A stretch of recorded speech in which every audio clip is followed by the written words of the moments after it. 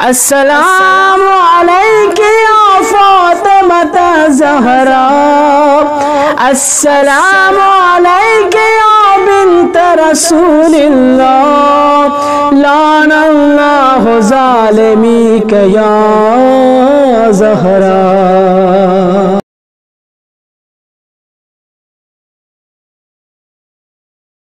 अज़बिल्लिमिनशैतानरजीम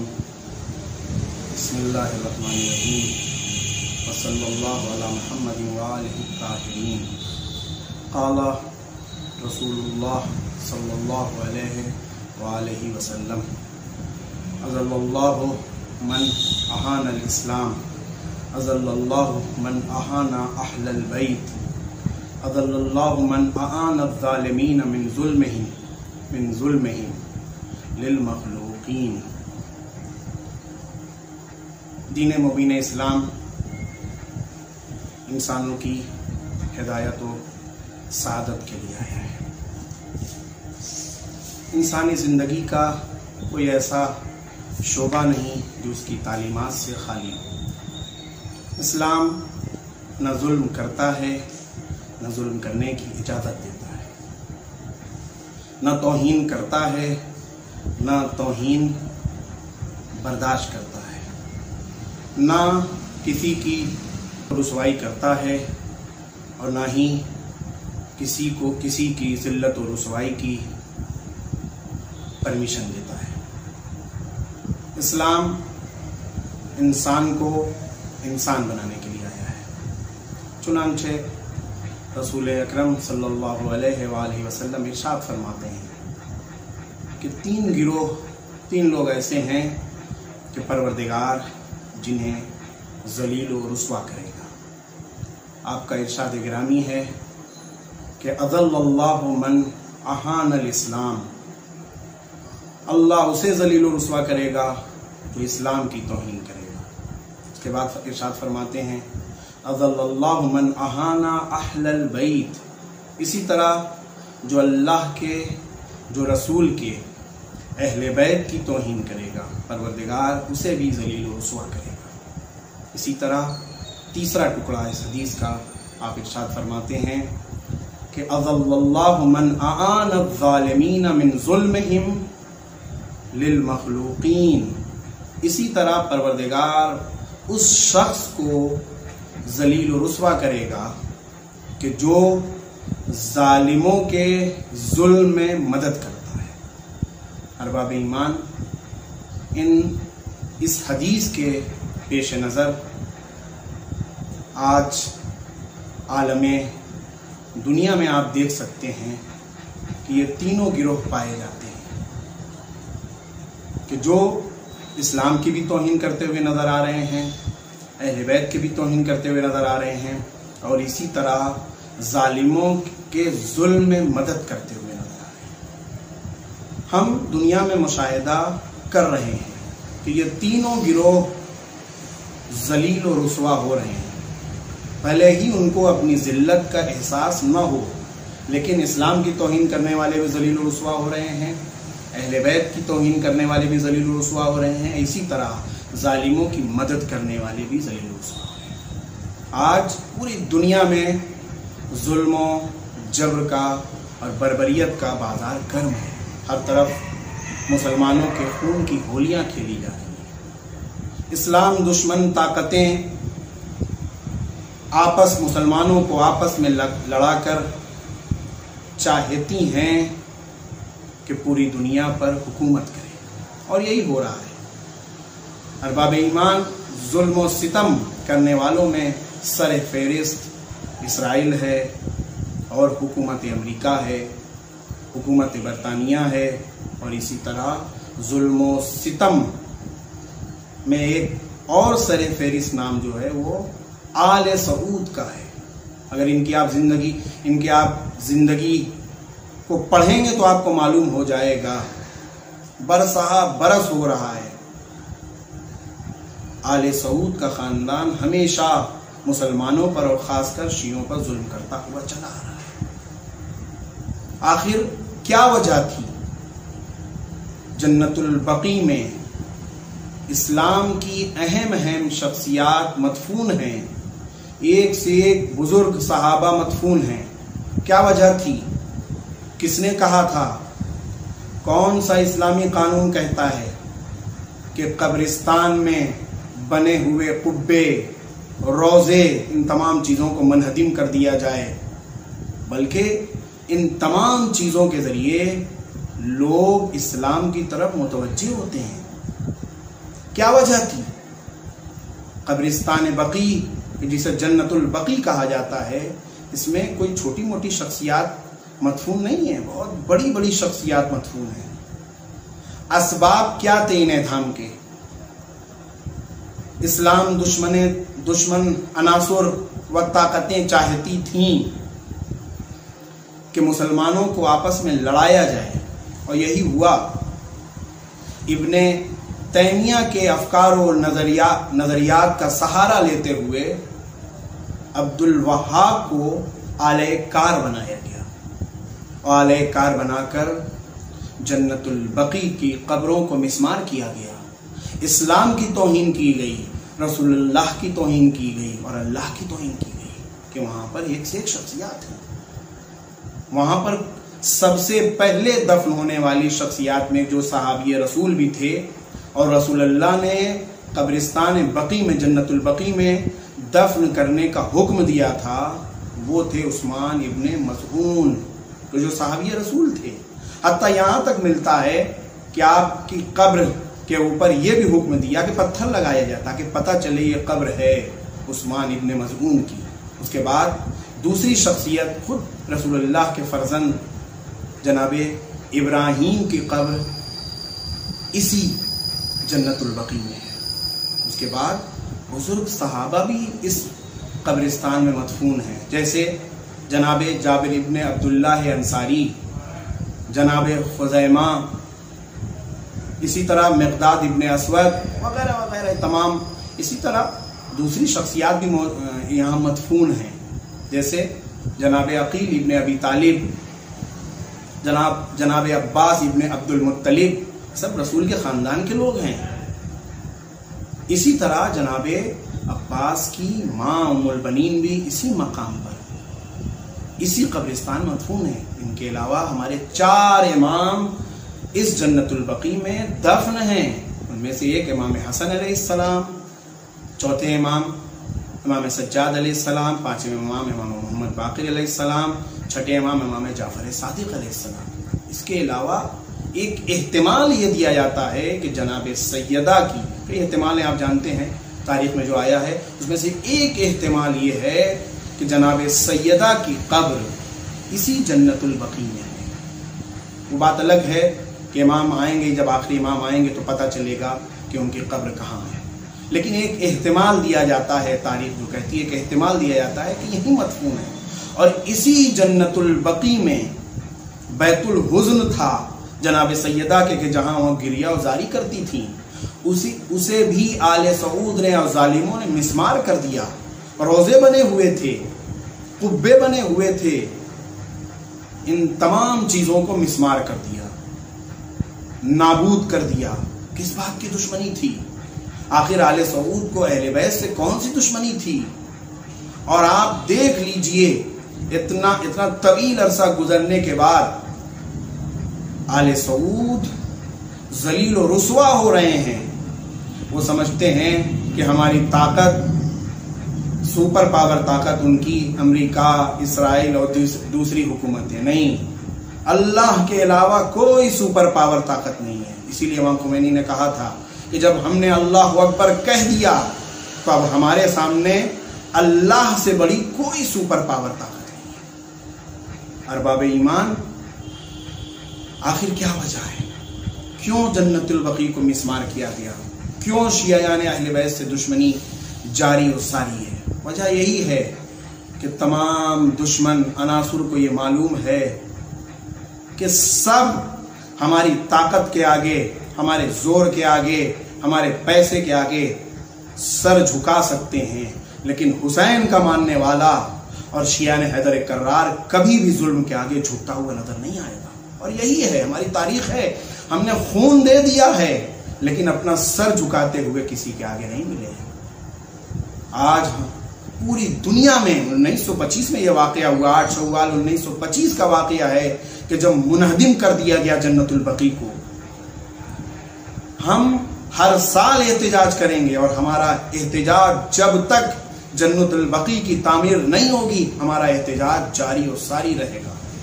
हम जुल्म के खिलाफ हमेशा बोलते रहेंगे। इस्लाम हमें दर्ज देता है, हमने इस्लाम से सीखा है, हमने रसूल अल्लाह से सीखा है, हमने अली से सीखा है, हमने हुसैन और अहल बैत से सीखा है कि जुल्म के आगे कभी घुटने नहीं टेकना, बल्कि जुल्म के आगे आँख, जुल्म जुल्म से आँख में आँख मिलाकर उनसे लड़ना और मुकाबला करना है।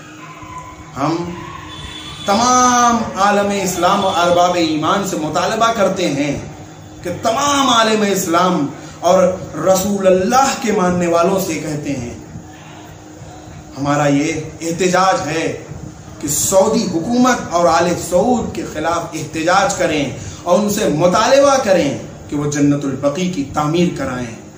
और इसी तरह जो तोहीन की गई है और मुसलसल तोहीन की जा रही है अहले बैत की, माफ़ी मांगे। वरना वो दिन दूर नहीं है कि जब आल सऊद की हुकूमत के पाँव उखड़ जाएँगे और जुल्म बरबरीत का ज़ोर खत्म होने वाला है। और सबसे बड़ी बात है जिसे सुपर पावर समझ रहे हैं, वही एक दिन आल सऊद को धोखा देगा और आल सऊद की हुकूमत नीस्तो नाबूद होगी। बनारस में भी और दूसरी जगहों पर भी। जब से ये वाक़ पेश आया है, खुद बनारस में भी हर साल आठ शवाल को योम एहतजाज होता है। जुलूस निकलता है जुलूस चौक और काली महल से होता हुआ जामा मस्जिद में पहुँचता है और वहाँ भी एहतजाज होता है। हर साल एहतजाज होता है और अब तक ये जुलूस उठता चला आ रहा है। मुमनिन बनारस एहतजाज करते हैं, लेकिन इस साल आप जानते हैं कि जो मुल्क के हालात हैं, उसकी वजह से जुलूस नहीं निकल रहा है। लेकिन हम ऑनलाइन के ज़रिए, मीडिया के ज़रिए, अखबार के ज़रिए, आल सऊद के ख़िलाफ़, उनके जुल्म के ख़िलाफ़ एहतजाज करते रहेंगे वसलाम वरहमतुल्लाह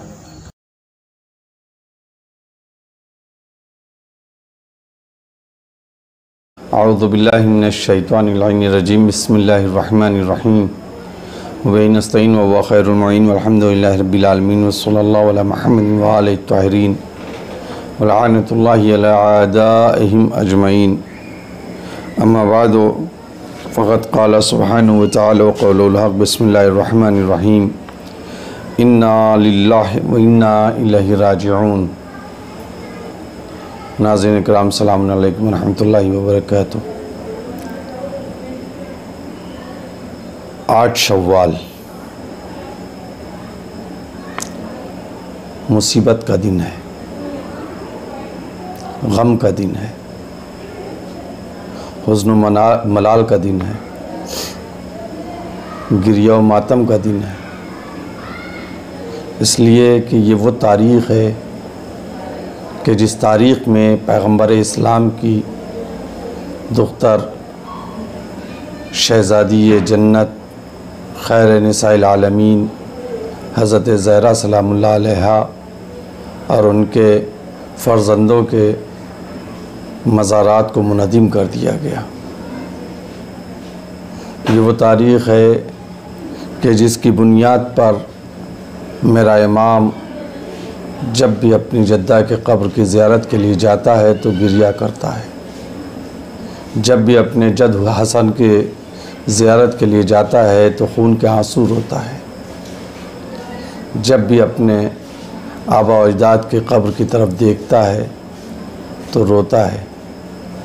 जन्नतुलबकी ये कौन सा कब्रिस्तान था? और है। जन्नतुलबकी वो कब्रिस्तान है कि जो तमाम कब्रिस्तानों में सबसे अफजल है, सबसे ज़्यादा अहमियत का हामिल है।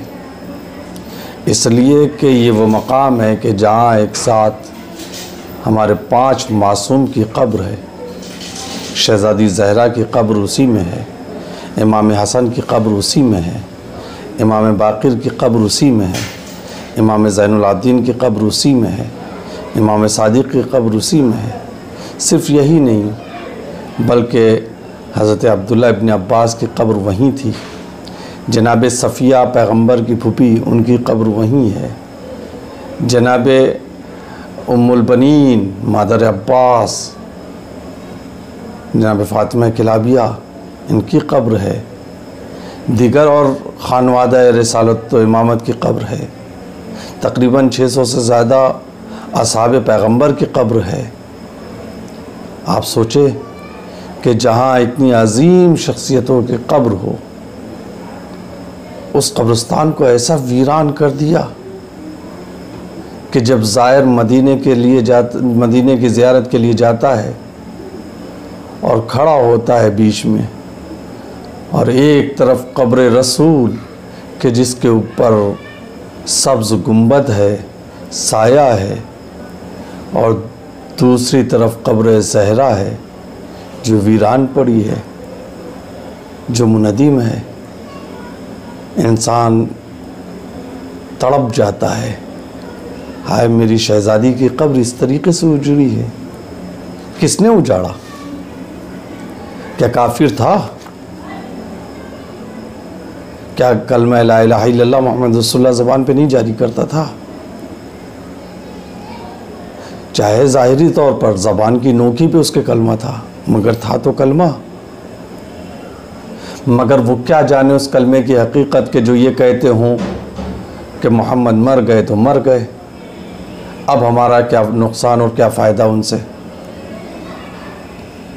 मर गए, कब्र में दफन हो गए, आम मुर्दे की तरह है। नहीं अजीज़ो, हमारा अकीदा तो ये है कि आम इंसान भी जब मरता है और ईमान की बुलंदी लेकर के जाता है ईमान के मरतबे पे फायज हो करके जाता है तो उसको हम मुर्दा नहीं कहते। पैगंबर ने फरमाया, मन माता मन माता आल महमद माता शहीदा। अहल बैत की मोहब्बत में जो मरता है वो शहीद होता है, और शहीद मरता नहीं है कुरान कह रहा है कि शहीद ज़िंदा है। तो कलमा गो तो ज़िंदा रहे और पैगंबर इस्लाम चले जाए। और अगर मर गए तो अशहदन्ना मोहम्मद रसूलुल्लाह का कलमा क्यों पढ़ते हो? कि मैं गवाही देता हूँ कि मोहम्मद अल्लाह के रसूल हैं। हैं का मतलब ये है कि हैं, और जो है वो मरता नहीं है, उसको मुर्दा नहीं कहा जाता। इसी से पता चलता है कि उनके यहाँ दीन नहीं पाया जाता, उनके यहाँ ईमान नहीं पाया जाता, उनके यहाँ इस्लाम नहीं पाया जाता। वो नाम निहाद मुसलमान तो हैं, मुसलमानों के लिबास तो पहने हुए मगर ज़बान पे कलमा भी है, लेकिन दिल में इस्लाम नहीं है। ज़बान की नोक से आगे इस्लाम नहीं बढ़ा है। वो शरीयत के पाबंद नहीं है, वो शरीयत जानते ही नहीं है। वो तो जिस चीज़ को खुद चाहते हैं, उसे शरीयत बना लेते हैं। वो जो चाहते हैं, उसी को दीन समझ लेते हैं। इसीलिए उन लोगों ने जन्नतुलबकी को मुनादिम किया। उनके नज़रिए में, उनके एतबार से कि कब्रों के ऊपर गुंबद नहीं होना चाहिए। मस्जिदें नहीं होनी चाहिए। इसलिए कि उन्होंने जब गिराया तो बहुत सी मस्जिदें गिराई हैं। बहुत से कब्र ही सिर्फ़ नहीं गिराई है, साथ में मस्जिदें गिराई, बहुत सी तारीख़ी मस्जिदें। आज आप मदीने जाइए, मक्के जाइए और पूछिए तब वो तारीख़ी मकाम कहाँ हैं, वो तारीख़ी मस्जिदें कहाँ हैं। कोई नज़र नहीं आती। जिनका ज़िक्र तारीख़ के सफ़ों में है, बस अब वो तारीख़ के सफ़ों पर रह गई। इसलिए कि इन नजदियों ने उन्हें गिरा दिया, इन वहाबियों ने उन्हें गिरा दिया है, उन्हें ख़त्म कर दिया वहाबी है क्या? ये अब्दुल वहाब के मानने वाले हैं। ये पैगंबर इस्लाम के मानने वाले नहीं हैं। ये डाकू और लुटेरे के मानने वाले हैं। ये किसी मोमिन के दोस्तदार नहीं है। अजीज़ो याद रखें आयतुल्ला लुत्फुल्ला साफ़ी गुल पायगानी मदज़ी फरमाते हैं कि इनके ऊपर जितनी नफरीन की जाए, जितनी लानत भेजी जाए, कम है और यकीनन भेजनी चाहिए और दिल खोल करके भेजनी चाहिए। सिर्फ़ इन्हीं का कौल नहीं है, बल्कि बहुत, सारे आलमा महाराजे का यही फतवा है कि जिसने जहरा की कब्र तोड़ी है, उन पर जितनी लानत भेजी जाए, कम है। इन पर जितनी नफरीन की जाए, इनसे कम है। इसलिए कि पैगंबर फरमाते हैं कि जिसने फ़ातिमा को गज़बनाक किया, उसने मुझे गज़बनाक किया। क्या ये गजमनाकी है फातिमा का बाइस नहीं है कि उनकी कब्र तोड़ दी जाए, उनकी बेटे की कब्र तोड़ दी जाए? क्या फातिमा इससे खुश होंगी? किस, सिर्फ़ उन्हीं की कब्र नहीं तोड़ी, साथ में उनके बेटों की कब्र तोड़ दी गई? आप गौर करें अजीज़ों, जन्नतुल बकी का इनहदाम ये सोची समझी साजिश है ऐसे ही नहीं तोड़ा गया है। ये एक साजिश का नतीजा है, साजिश यही है कि इस्लाम मिट जाए, दीन मिट जाए। इसलिए कि वो समझ रहे थे कि इमाम हुसैन को कत्ल करके हमने दीन ख़त्म कर दिया। मगर जब देखा कि फ़र्श आज़ा ने दीन को बचा लिया है, और फ़र्श आज़ा की बुनियाद पर ये लोग अहल से करीब तर होते जा रहे हैं। नतीजा ये है कि साल में एक बार नहीं कई कई मरतबा ज़ायरीन ज़्यारत के लिए जाते हैं और जा कर के वहाँ तड़प करके रोते हैं, चौखट को चूम रहे हैं, वहाँ से दीन और शरीयत ले करके आ रहे हैं, मोमिन और मुतकी बन कर के आ रहे हैं, गुनाहों से तोबा इस्तफ़ार करके आ रहे हैं, पाक पाकिज़ा हो कर के आ रहे हैं तो समझ गए कि हमारा प्लान फेल हो गया। जब तक ये रोज़े रहेंगे, जब तक इनकी निशानियाँ रहेंगी, इनकी यादगार रहेगी, तब तक हम कामयाब नहीं हो पाएँगे। यह इबलीस के दस्तरखान के नमक खार इन्होंने दीन को मिटाने के लिए, शरीयत को ख़त्म करने के लिए रोज़ों को तोड़ा है। लिहाजा इन पर लानत होनी चाहिए। और जो लानत नहीं बेचता है, याद रख ले, जो नफरी नहीं करेगा, इसका मतलब ये है कि वो भी उनके कहीं ना कहीं उनके इस फेल में शरीक है। चाहे जहनी तौर पर हो, चाहे अमली तौर पर हो, चाहे फिक्री तौर पर हो। लिहाजा लानत भेजे। मैं अजीज़ों, कहने को तो बहुत कुछ था। लेकिन ज़ाहिर सी बात है कि मुख्तसर से गुफ्तु में सारी बातें नहीं बयान की जा सकती। तारीख़ पूरी मैं आपके सामने जन्नतुलबकी की पेश करना चाहता था। कि जन्नतुलबकी के निदाम से पहले भी एक मरतबा जन्नतुलबकी को तोड़ा गया है। सबसे पहले 1220 में वाबियों के हाथों उस्मानी हुकूमत को ख़त्म करते हुए तोड़ा गया है और मुनदिम किया गया है। फिर उसके बाद तेरह सौ चवालीस हिजरी में आल सऊद ने मक्का मदीना और तमाम कब्ज़ा किया और जन्नतुलबकी को मुनदिम किया। हती निदाम ऐसे नहीं किया गया, बल्कि मैं कहता हूँ जिस तरीके से कत्ल हुसैन के लिए यजीद और यजीदियों ने उस दौर के नाम नहाद और बनी मैया दस्तरखान के नमखार मौलवियों से, मुफ्तियों से फतवा लिया था। इमाम हुसैन को कत्ल करने के जवाज़ में, वैसे ही जन्नतुलबकी को मुनादिम करने के जवाज़ में, ये बनी बनी मैया की औलाद अब्दुल वहाब और उसके मानने वालों ने उस वक्त के अलामा से फतवा लिया है। यह और बात है कि फतवा उस वक्त भी धोखे में लिया गया था, आज भी धोखे में लिया गया है। इनसे तेरह सौ चौवालीस हिजरी में उनसे फतवा लिया गया है। अब आपके सामने मैं एक सवाल पढ़ता हूँ, जिसको उम्मुल कुरा माह शवाल तेरह सौ चौवालीस ही में शाये होने वाले एक रिसाले में शाय किया गया था कि क्या फरमाते हैं मदीना मुनवरा जिनके इल्म दानिश में खुदावंद आलम दिन ब दिन तरक्की अता करे। क्या कब्रों पर तामीर और इमारत और वहाँ मस्जिद बनाना जायज़ है या नहीं? अगर जायज़ नहीं है और इस्लाम ने बड़ी शिद्दत से उसकी ममानियत की है तो क्या उन्हें मुनहदिम करना और वहाँ नमाज़ पढ़ने से रोकना ज़रूरी है और वाजिब है या नहीं? क्या बकी जैसे वक्फ शुदा ज़मीन पर बनाई गई खबरें इमारतें और गुंबद, जिनकी वजह से बाज़ हिस्सों से इस्तेफादा नहीं किया जा सकता, वक्फ के बाज़ हिस्से के गस्ब के मुतरदफ़ है, क्या या नहीं, क्या उन्हें जितना जल्दी हो सके ख़त्म नहीं किया जाना चाहिए, ताकि मुस्तकीन पर जो जुल्म हुआ है, रफ़ा हो जाए। और मैं मदीना ने जो खौफ हरास के आलम में इसका जवाब यूँ दिया था। अब जवाब भी सुन लीजिए, ये सवाल था। अब उसका जवाब यूँ देते हैं कि ख़बरों पर महारत बनाना हदीसों की रौ से मान मना है इसीलिए बहुत से ने उसके निदाम के वजूब का फतवा दिया। और यानी आप गौर करें कि वो कहते हैं कि इसीलिए हमने फतवा दिया है। वहाँ पर वो एक हदीस भी पढ़ते हैं जिसके ऊपर मुझे कोई तबसरा नहीं करना है। लेकिन सिर्फ़ इतना है कि कुरान मजीद ने भी कब्रों की तामीरात पर हमें इजाज़त दी है। हत्ता कब्रों को तोड़ना, उनको ख़त्म करना मना है। बहुत सी जगह हराम तक कहा गया है। आप गौर करें। शरीयत के ख़िलाफ़, दीन के ख़िलाफ़, कुरान के ख़िलाफ़ इनका अमल है। ये वो हैं कि जिन्होंने ये कि बुज़ुर्ग, जवान, बल्कि माओ की गोद में दूध पीते हुए बच्चों को माओ के सीने पर कत्ल किया है। माँ के सीने से लिपटे हुए बच्चे और उनके सरोतर में जुदाई की। मालो असबाब लूट लिया। बकी में जो संदूक रखे हुए थे, जिसमें उस वक्त हीरे जवाहरात सारी चीज़ें मौजूद थी। बकी के अंदर जो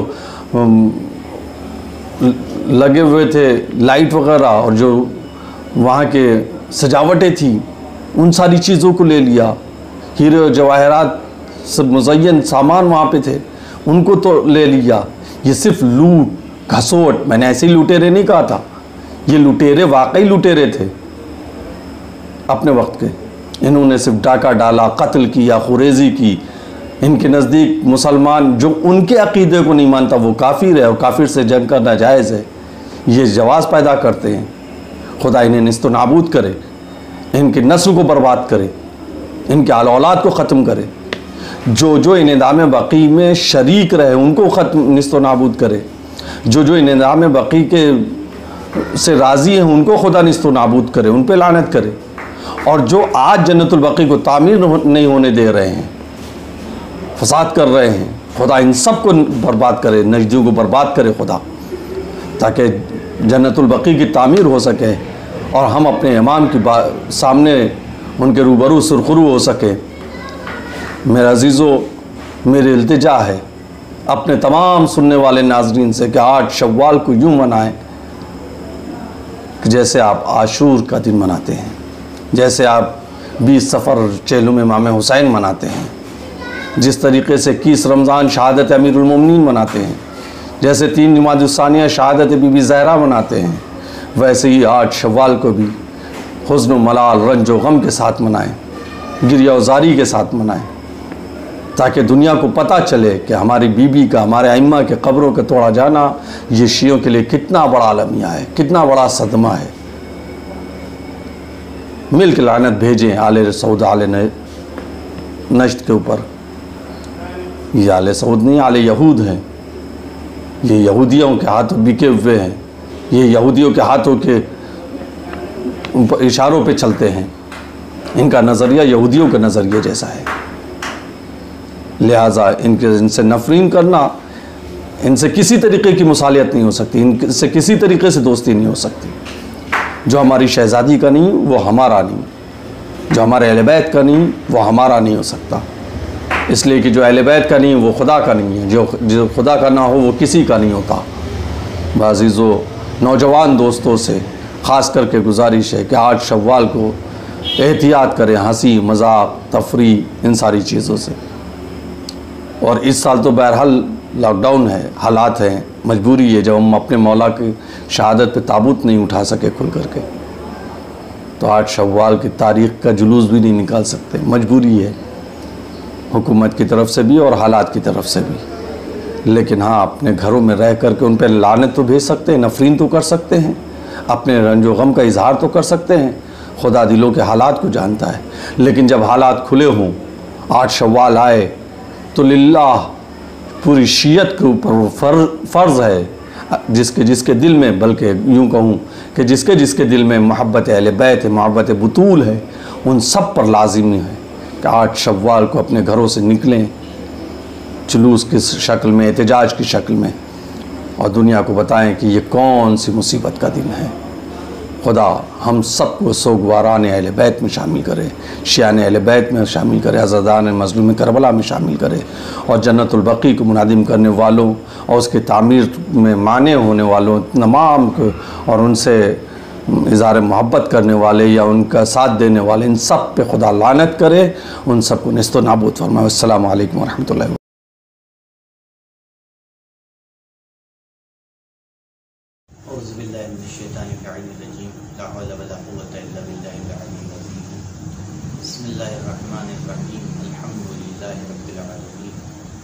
बारखलाक अजमाइन। वसलात वसलम रबीआल सलीम, मौलाना अबुल्कासिम मोहम्मद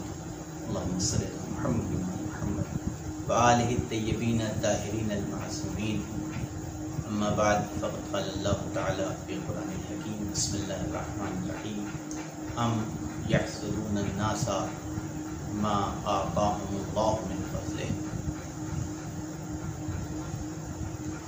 कुरान मजीद की आय करी जिसकी तिलावत का शरफ हासिल किया है। इस आयत में खुदा बंद आलम इशारा कर रहा है, कुछ लोगों की फितरत की तरफ़ और उनके दिलो दिमाग की कैफियत की तरफ़। और ये बता रहा है कि कुछ ऐसे लोग भी हैं कि जिनके दिल में बुग़्ज़ व हसद कीना परवरी की गलाजत इस उनवान से पाई जाती है कि वो नेमत के जो खुदा बंद आलम ने अपने कुछ ख़ास बंदों को और वो फजल के जो खुदा बंद आलम ने अपने कुछ मंतखब शुदा अफराद को अता किया है, वो उसके हवाले से बुग़्ज़ हसद रखते हैं और इस बुग़्ज़ हसद का इजहार करते हैं। आयात और रवायात अगर उसका मुताल किया जाए तो हमारे लिए ये बात रोशन और आश्कार हो जाती है कि बुग़्ज़ हसद से ज़्यादा बड़ी बीमारी इंसान की रूह की कोई और शय नहीं है। यानी रूह की सबसे बड़ी बीमारी कि जिसे बुग़्ज़ हसद कहा जाता है। और ख़ुसूसन ये बीमारी उस वक्त और बड़ी हो जाती है कि जब इंसान के दिल में उन लोगों से बुग़्ज़ हसद पैदा हो जाए कि जो खुदा का इंतखब है या खुदा के हबीब का इंतखब है। आप सोचिए कि वो नबी कि जिसका कलमा पढ़ा जा रहा था, कि जिसकी रसालत की गवाही, जिसकी नबूवत की गवाही 24 घंटे में कम से कम पाँच मरतबा इंसान देता है। और अशद अल्लाह अशद अन्ना मोहम्मद रसूलुल्लाह, ये कह के एतराफ़ करता है कि हम गवाही देते हैं, हम यकीन रखते हैं कि मोहम्मद अल्लाह के रसूल हैं, अल्लाह के हबीब हैं, अल्लाह के पैगंबर हैं। और एक ऐसी शख्सियत कि जिसने उन लोगों को कि जो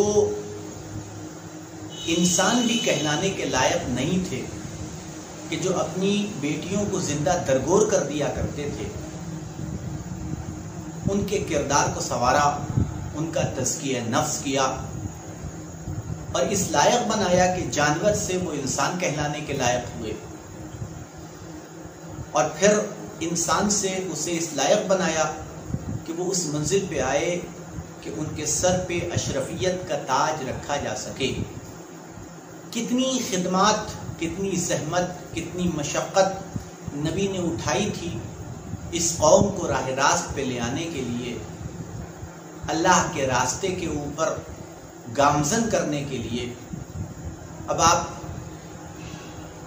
हर इंसान अगर उसके नेचर और उसकी फितरत को अगर देखेंगे तो इंसान की फितरत में और इंसान के नेचर में ये बात पाई जाती है कि इंसान फितरतन अपने मोहसिन का वफादार होता है। और सिर्फ़ मोहसिन का वफादार नहीं होता, बल्कि हर वो ज़ात के जो उसके मोहसिन से ताल्लुक़ रखती है, उसको भी वही एहतराम वही तज़ीम और वही इज़्ज़त देता है कि जो उसके मोहसिन का हक है। लेकिन अजीब बात है कि हमने तारीख़ के आईने में देखा कि वो नबी के जिसके लिए जान भी देने के लिए तैयार थे, जिसकी आवाज़ पे लब्बैक कहते वे उनके मुँह नहीं थकते थे। वही लोग, एक मौका वो भी आया कि इधर नबी की आँख बंद हुई और उनकी आल के ऊपर मुसीबतों, आलाम के पहाड़ तोड़ दिए गए। और इतनी मुसीबतें उनके ऊपर डाली गई कि तारीख ने इस हवाले से गवाही दी कि एक लाख चौबीस हज़ार अम्बिया में से किसी नबी की आल के ऊपर वो मुसीबत नहीं पड़ी है कि जो मुसीबत इस आखिरी नबी की आल के ऊपर डाली गई है। और दूसरा फ़र्क, बुनियादी फ़र्क ये भी है कि गुजश्ता अम्बिया की आल के ऊपर जितनी मुसीबतें आई हैं, वो गैरों की तरफ़ से आई हैं। लेकिन नबी की आल के ऊपर जितनी मुसीबतें डाली गई हैं, वो गैरों ने नहीं, बल्कि उन लोगों ने डाली हैं कि जो ला कह रहे थे मोहम्मद रसूलुल्लाह कह रहे थे। अब इससे बड़ा और अलमिया क्या हो सकता है?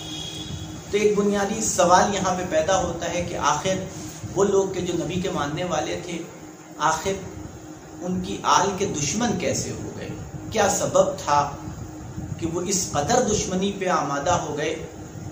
कि नबी की आँख के बंद होने के बाद आग और लकड़ी ले करके नबी की इकलौती और चहीती बेटी के दरवाजे पे पहुँच गए और कहा जाने लगा कि अबुल हसन को बाहर निकाल दो, वरना हम तुम्हारे घर में आग लगा देंगे। और दरवाजे में आग लगा दी गई। 18 साल एन जवानी का आलम, नबी की ऐसी बेटी के जिसके एहतराम में नबी खड़े हो जाया करते थे। कि जिसके बारे में नबी का इरशाद मौजूद था, लोगों के जहनों में वो नबी का कौल पाया जाता था कि फातिमा तो बस तो मिन्नी, कि फातिमा मेरा जुज है। मन अब गजहा अब गजनी कि जिसने इसे नाराज़ किया, उसने मुझे नाराज़ किया है। तो आखिर क्या सबब था कि उसके घर को जलाया जा रहा है? शिकम में उसके बच्चे की शहादत हो रही है। उसके शोहर के गले में रिसवान जुल्म का फंदा डाल के मदीने की गलियों में खींचा जा रहा है। और उनके पूरे घर को गोशा नशीन और खाना नशीन कर दिया जा रहा है। क्या सबब था? तो अगर इस सबब को तलाश करेंगे तो कुरान की यही आयत है कि जो जवाब बनकर हमारे सामने आती है कि नबी के ज़माने से ही कुछ लोग ऐसे थे कि जिनके दिलों में अहले बैत के हवाले से वो बुग्ज हसद था कि जो पनप रहा था।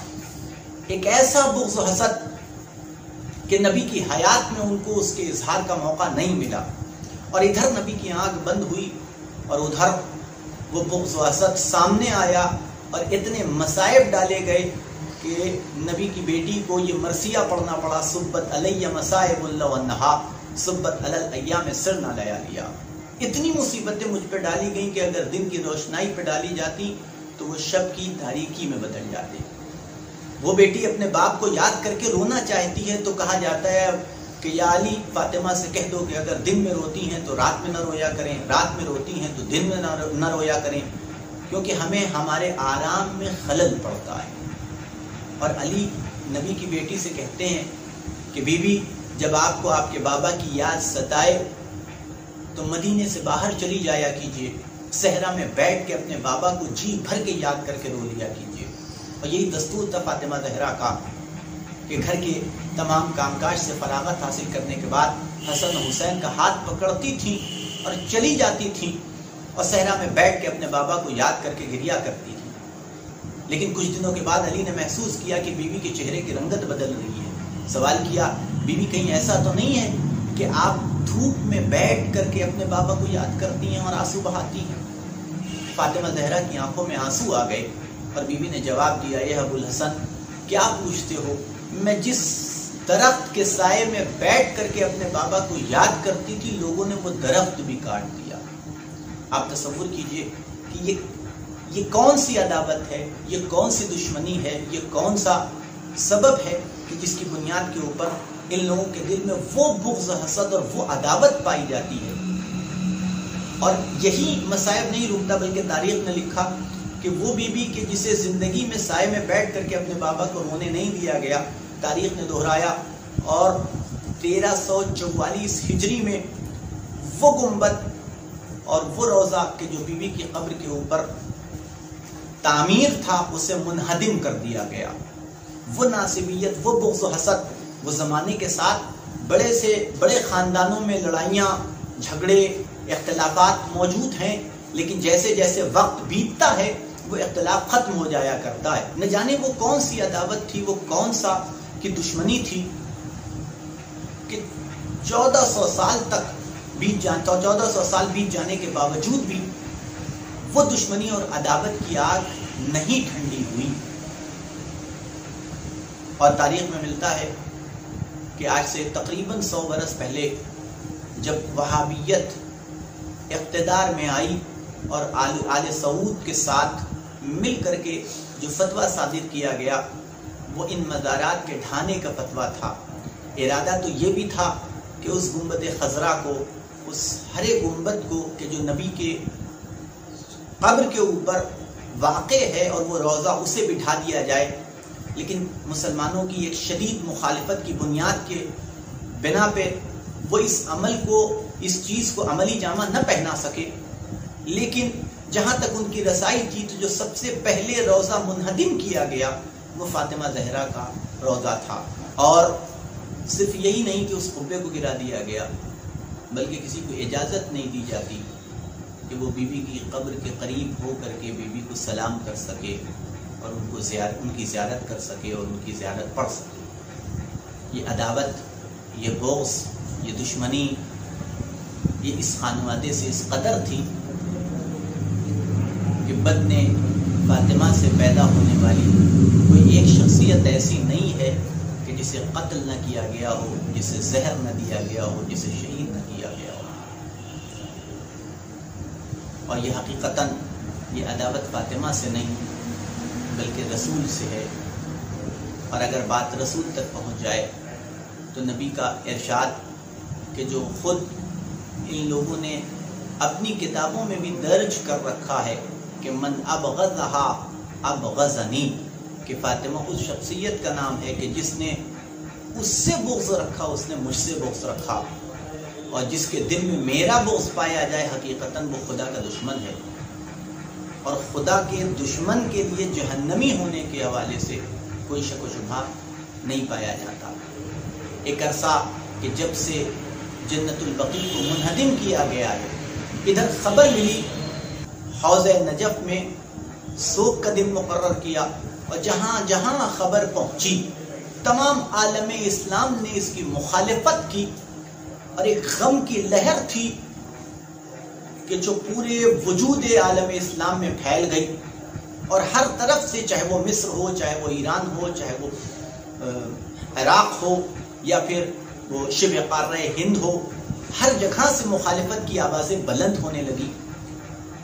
और हिंदुस्तान में, ईरान में और दूसरी जगहों के ऊपर कि जहाँ शियान अहल बैत किसी भी तादाद में मौजूद थे, एक एहतजाजी जुलूस निकाला जाने लगा।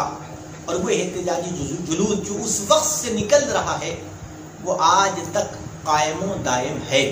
और इन ये एहतजाज उस वक्त तक होता रहेगा कि जब तक के बीवी के मज़ार के ऊपर वो रोज़ा दोबारा तामीर नहीं कर दिया जाता। इसलिए कि ये हमारा फरीज़ा है कि जहाँ जुल्म करना एक गुनाह अजीम है, वहीं जुल्म को होता हुआ देख करके खामोश रहना और आवाज़ एहतजाज न बुलंद करना, ये भी एक गुनाह है। और इसीलिए अगर हम ज़्यारत पढ़ते हैं तो उसमें ये फ़िक्रा हमें पाया जाता है अल्लाहमतन कदलत का। मेरे महबूद उन पे लानत हो कि जिस उम्मत ने इन्हें कत्ल किया है। अल्लाहमतन दलमत का, उन पे लानत हो कि जिन्होंने इनके ऊपर जुल्म किया है। और उनके ऊपर भी लानत हो कि जिन्होंने सुना और इस अमल से, इस जुल्म से वो राज़ी रहे। अब खामोश रहना, खबर पहुँचने के बाद जुल्म की खामोश रहना, ये हिदायत की दलील है। लिहाजा इंसान के ऊपर लाजिम है और वाजिब है कि अगर उसके दिल में इंसानियत, उसके सीने में इंसानियत का दिल धड़क रहा है तो उस पर लाजिम है कि हर जुल्म के खिलाफ आवाज़ बुलंद करे और उसका एहतजाज करे। और जहाँ मजलूम के चेहरे को पहचान, जालिम के चेहरे को पहचानवाए, वहीं मजलूम का भी तारुफ पेश करे कि जुल्म करने वाला कौन था जिस पे जुल्म हो रहा था, उस शख्सियत को क्या कहा जाता है। लिहाजा हम ये एहतजाज करते आ रहे हैं और इंशाल्लाह ये एहतजाज आगे भी कायम दायम रहेगा।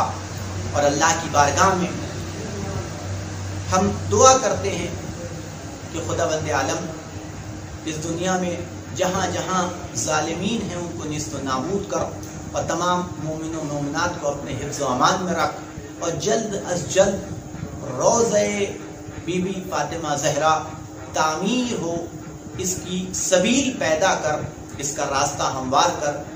व आखिर दावाना अनिलहमदिल्ला रबालमी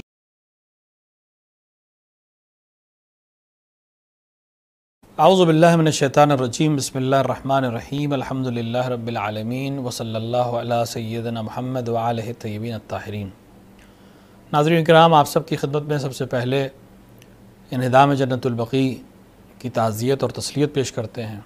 आप सब की जानब से इमाम ज़माना जल्ला फ़रज शरीफ की खिदमत में इन मज़ारात मुक़दसा की तोहन और हतक हरमत की ताज़ियत और तसलियत पेश करते हैं। जन्नतुलबकी कोई एक ऐसी जगह नहीं है जिसको लोग पहचानते ना हों, बल्कि आलम इस्लाम का एक एक फ़र्द इससे वाकिफ़ है। रसूल अकरम ने अपने असहाब में बहुत से ऐसे अफराद थे जिनको यहाँ दफन कराया। आपकी अजवाज यहाँ दफन हुई। हती आपके फ़र्जन जनाब इब्राहीम, इसी जन्नतुलबकी में दफन हुए। आइमा सलाम इमाम हसन मुशतबा, इमाम ज़ैनआबदीन इमाम महमद बाकर सलाम इमाम जाफ़र सदक सलाम इसी जन्नतुलबकी में दफन हुए। जनाब फ़ातमा बिनत असद जन्नतुलबकी में दफन हुई। जनाब फ़ातमा के लाबिया हज़रत उम्मबनीन सलामुल्लाह अलैहा और दीगर इस्लाम की अजीम हस्तियाँ जन्नतुलबकी में दफन हुई। और तारीख़ गवाह है कि सन तेरह सौ चवालीस से पहले यहाँ मज़ारात थे, यहाँ ज़री थी, यहाँ कुब्बा था, यहाँ बारगाह थी और लोग आते थे और वो लोग जो हज के लिए या ज़्यारतों के लिए, उम्र के लिए मक्के और मदीने की सरज़मीन पर शरफ़याब होते थे, वो सब इन ज़्यारत गाहों पर आते थे। एक इस्तेमारी साजिश के नतीजे में एक नया दीन गढ़ा गया, एक नया मज़हब बनाया गया। और जिसने अपनी शिद्दत को दिखाने के लिए आठ शवाल सन तेरह सौ चवालीस को मदीने में तामीर शुदा जन्नतुलबकी में मज़ारात पर हमला किया और उनको उठा दिया। और बाद में अपनी तोजीह के लिए और अपने वसाइल को सही करने के लिए और अपने मामला को सही रखने के लिए, फतावे लिए और को डरा कर धमका कर तहरीर लिए और आज तक वो सिलसिला जारी है। सवाल यह है कि आखिर ये मज़ारात क्यों ढाए गए? और आखिर इन मज़ारात को ढा देने से इनका कौन सा हदफ था जो पूरा हो रहा था? बहुत वसी मौजू है और इस पर हमारे लिए एक और मसला है कि हमारी ज़िम्मेदारी क्या है? आज सत्तानवे साल गुजरने के बाद भी ये मज़ारात उसी तरह हैं, यानी ढा दिए गए हैं। औलाद रसूल की ख़बरों के ऊपर कोई साहिबान तक नहीं है। वहाँ जाने तक पे पाबंदी है। आखिर क्यों? रसूल ख़ुद जाते थे, सलाम करते थे मदफून अरवाह को और उसके बाद दुआ करते थे उनकी मफ़रत के लिए। इसी जन्नतुलबकील के लिए रवायात में है कि सत्तर हज़ार साल अफराद यहाँ से मशहूर होंगे रोज़ क़यामत और बग़ैर हिसाब व किताब के जन्नत में जाएँगे और उनके चेहरे चौदहवीं के चाँद की तरह चमक रहे होंगे। तो ऐसे अजीम मकाम को क्यों गिराया जा रहा है? वो भी मज़हब के नाम पर, वो भी तोहद के नाम पर। तोहद के नाम पर, तोहद की निशानियों को क्यों मिटाया जा रहा है? देखिए दुश्मनी पुरानी है। अगर कोई साहिब ज़ौक़ हो, और हर मुसलमान को होना चाहिए साहिब ज़ौक़, तारीख़ का मुताल करे और समझे कि रसूल और आल रसूल के साथ उनकी ज़िंदगी में और उनकी ज़िंदगी के बाद किस तरह के जुल्म किए गए। किस तरह रसूल के ज़माने में साजिशें की गई कि इस्लाम न पनप सके? और मजबूर होकर जब देखा कि इस्लाम हर तरह से फैल गया और हम उस हुकूमत का मुकाबला नहीं कर सकते तो फिर इस्लाम में, इस्लाम का चोला पहन कर इस्लाम में दाखिल होने वाले अफराद किस तरह साजिशें कर रहे थे ताकि रसूल का मिशन कामयाब ना हो सके? और बाद वफ़ात रसूल, बाद शहादत रसूल जो वाक़ात हैं, अगर इंसान उनको ऐनक अगर इंसान उनको गौर से देखे और पढ़े और मुताल करे तो उसको बहुत कुछ समझ में आएगा कि किस तरह बातिल हक़ को हराने की कोशिश करता है, किस तरह अपने लिए तोजीहाँ पेश करता है, किस तरह आयात की तफसीर को अपने हिसाब से बदलता है, किस तरह हदीसों को गढ़ता है, किस तरह अपने मिशन में कामयाब होने के लिए पहले मन हदीस करता है कि हदीस ना बयान की जाए और फिर बाद में अपने हदफ को साबित करने के लिए हदीसों को गढ़ कर मसाइल को पैदा करता है कि किसी तरह हुकूमत मुझे मिल जाए, किसी तरह हुकूमत मुस्तहकम हो जाए। उसी रविश पर चलते चलते आइमा की ज़िंदगी में उन पर जुल्म हुआ, आइमा के बाद उन पर जुल्म हुआ। यहाँ तक कि एक अजीम साजिश के तहत फ़िरक़ वहाबियत को वजूद में लाया गया और आल सऊद की हिमायत के साथ हुकूमत उनका वादा किया गया, दीन उनका वादा किया गया, इस मज़हब को तरवीज की गई। ताकि जो अज, बड़ा हदफ था इस्तेमार का, इस्लाम के चेहरे को दुनिया में मखदूश किया जाए, इस्लाम के चेहरे को ख़राब किया जाए, वो हासिल हुआ और हो रहा है। क्यों रसूल की सीरत नहीं बयान की जाती? क्यों आल रसूल की सीरत नहीं बयान की जाती? लेकिन उन लोगों की सीरत बार बार बयान की जाती है मुख्तलिफ़ मीडिया में मुख्तलिफ़ साइट्स के ऊपर, जिन्होंने नाम रसूल पर खिलाफ अमल रसूल अंजाम दिया। क्योंकि उनका हदफ यह है कि इस्लाम को ख़त्म किया जाए तो हर वो चीज़ जो इस्लाम को दुनिया में मुमताज़ कर सकती है, उसको ख़त्म करना है। चाहे वो आइमा हो, चाहे आइमा का नाम हो, चाहे आइमा से मंसूब मज़ारात हों।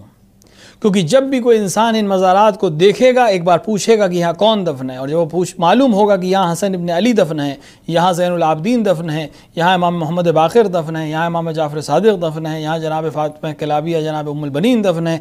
तो एक बार उनकी शख्सियत के सिलसिले में इंसान दस्तजू करेगा, नतीजे में वो इस्लाम उसे मालूम होगा जो वाकई इस्लाम है। जो रसूल का दिया हुआ इस्लाम है, जो रसूल का सिखाया हुआ इस्लाम है, जो इस्लाम का वाकई और हकीकी और ख़ूबसूरत चेहरा है। तो फिर उनका हदफ ख़राब हो जाएगा, इनका हदफ ख़त्म हो जाएगा। इन्हें तो इस्लाम को बदनाम कराना है। इन्हें तो इस्लाम को तशद के साथ दिखाना है। तो लिहाजा तशद किया रसूल और आल रसूल पर ताकि इस्लाम को एक ऐसा मज़हब दिखाया जाए जो जुल्म करता है, जो मज़ारात को ढाता है, जो बच्चों को कत्ल करता है, जो औरतों पर जुल्म करता है, जो बूढ़ों को कत्ल करता है। तो हर वो चीज़ जो इनके मकसद में कामयाबी दे सकती है, उसे ये अंजाम देते तो अब हमारा भी एहतजाज इस तरह होना चाहिए कि जन्नतुलबकी बनाया जाए। साथ ही साथ हम वो तमाम काम जो जन्नतुलबकी के ज़रिए से हो रहे थे, वो हम अपने अपने ज़रिए से करें। आज सोशल मीडिया का ज़माना है। आज हमारे पास वसाइल हैं कि हम अपनी बात को दुनिया तक पहुँचा सकते हैं। तो हम हर तरीके से, जिस तरह से भी जिसके लिए मुमकिन है, एहतजाज भी करें और एहतजाज के साथ साथ सीरत आइमा सलाम खसूस सीरत आइम बकी को हम पेश करें दुनिया तक कि ये ऐसे लोग थे जिनकी निशानी मिटाई जा रही है। ये वाक़ इस्लाम के पैरोकार थे जिनकी निशानियाँ मिटाई जा रही हैं। अगर ये वाक़ मुसलमान हैं तो ये वो अमल क्यों अंजाम दे रहे हैं जो मुसलमानों को जेब नहीं देता, या इस्लाम ने मना किया है। कितनी अजीब बात है कि तोहहीद के नाम पर मज़ारात ढाए जाते हैं, लेकिन शराब पी जाती है।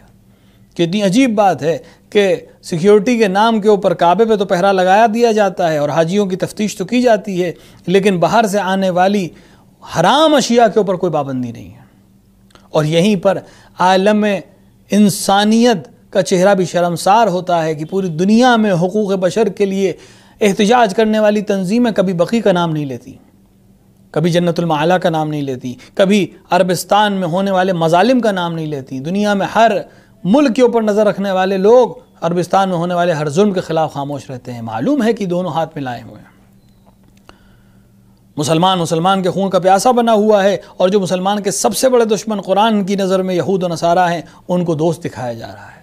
लिहाजा हमारी और आपकी ज़िम्मेदारी है कि हम योम बकी आठ शवाल को एहतजाज भी करें, बकी के बनाने का मुतालबा भी करें और दुनिया को रूशनास कराएँ उन हक़ से जो इस्लाम की हकीकत है, जो तारीख़ की हकीकत है। बकी को ढा देने से इनका मकसद हासिल इसलिए नहीं हो सका कि मुसलमान मुतहद होकर इसके ख़िलाफ़ एहतजाज कर रहे हैं।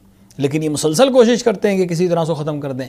कभी इनकार करते हैं वहाँ मज़ार होने से, कभी इनकार करते हैं वहाँ के होने वाले वाक़ात से, और नादान अफराद उस बात को मान लेते हैं। नहीं, तारीख़ी शवाहिद मौजूद हैं, तस्वीर मौजूद हैं, असनाद मौजूद हैं, जहाँ तमाम हक़ मौजूद हैं कि किस तरह से मज़ारात को ढाया गया। हती हिंदुस्तान में खिलाफत मूवमेंट के ताल्लुक़ रखने वाले अफराद ने बाकायदा वफ्त भेजा। और जिन्होंने जाकर मज़ारात के सिलसिले में वहाँ तफ्तीश की और उनको हैरत ज़दा थे वो लोग कि ऐसा किया जा सकता है।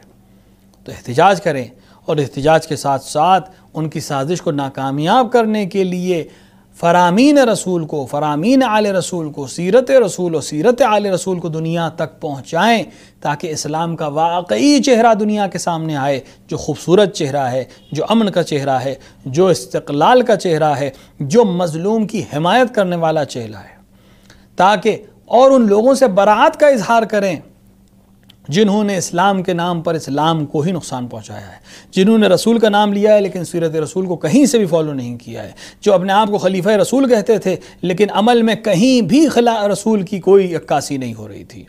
जो असल रसूल के वरसा हैं, उनकी सीरत बयान की जाए।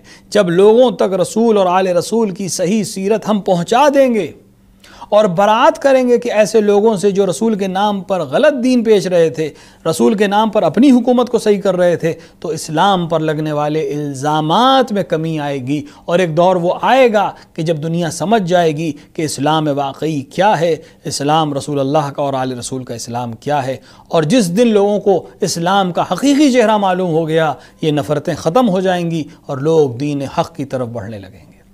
लिहाजा आज आठ शवाल को हम एहतजाज करें बकी के दोबारा तामीर के लिए और साथ ही साथ हम ये अहद करें अपने आप से कि इस्लाम का वाकई चेहरा दुनिया तक पहुँचाएँगे और जिन्होंने इस्लाम के नाम पर इस्लाम को बदनाम किया है, उनके चेहरों से भी नकाब को नोच लेंगे ताकि दुनिया को मालूम हो जाए कि ालिम कौन है और मज़लूम कौन है।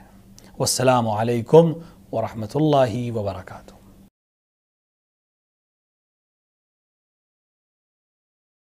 आउबिल्लिमिनशैतानरजीम बिस्मिल्लाहिर्रहमानिर्रहीम अल्लाहुम्मलान ज़ालिमी का या ज़हरा अल्लाहुम्मलान कातिली का या ज़हरा आज आठ शवाल है आज योम एहतजाज है। आज इंसानियत को एक बार फिर जालिम हुकूमतों के आगे शर्मसार करने की कोशिश की गई है। लेकिन कायनात याद रखे, अगर वो जुल्म का सिलसिला रोकने को तैयार नहीं है तो हम अपने एहतजाज की आवाज़ भी बंद नहीं होने देंगे।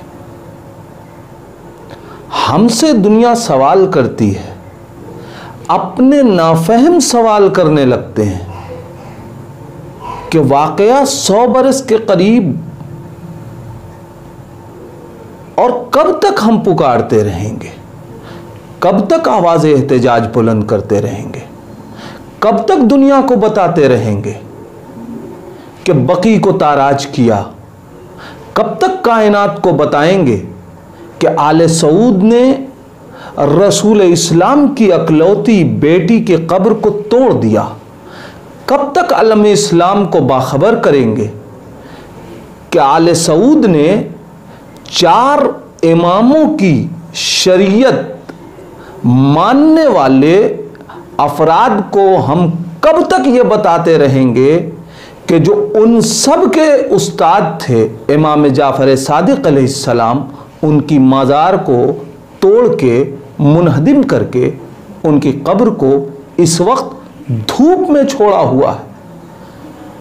हाँ हमसे कायनात पूछती है कि हम कब तक बताएँगे।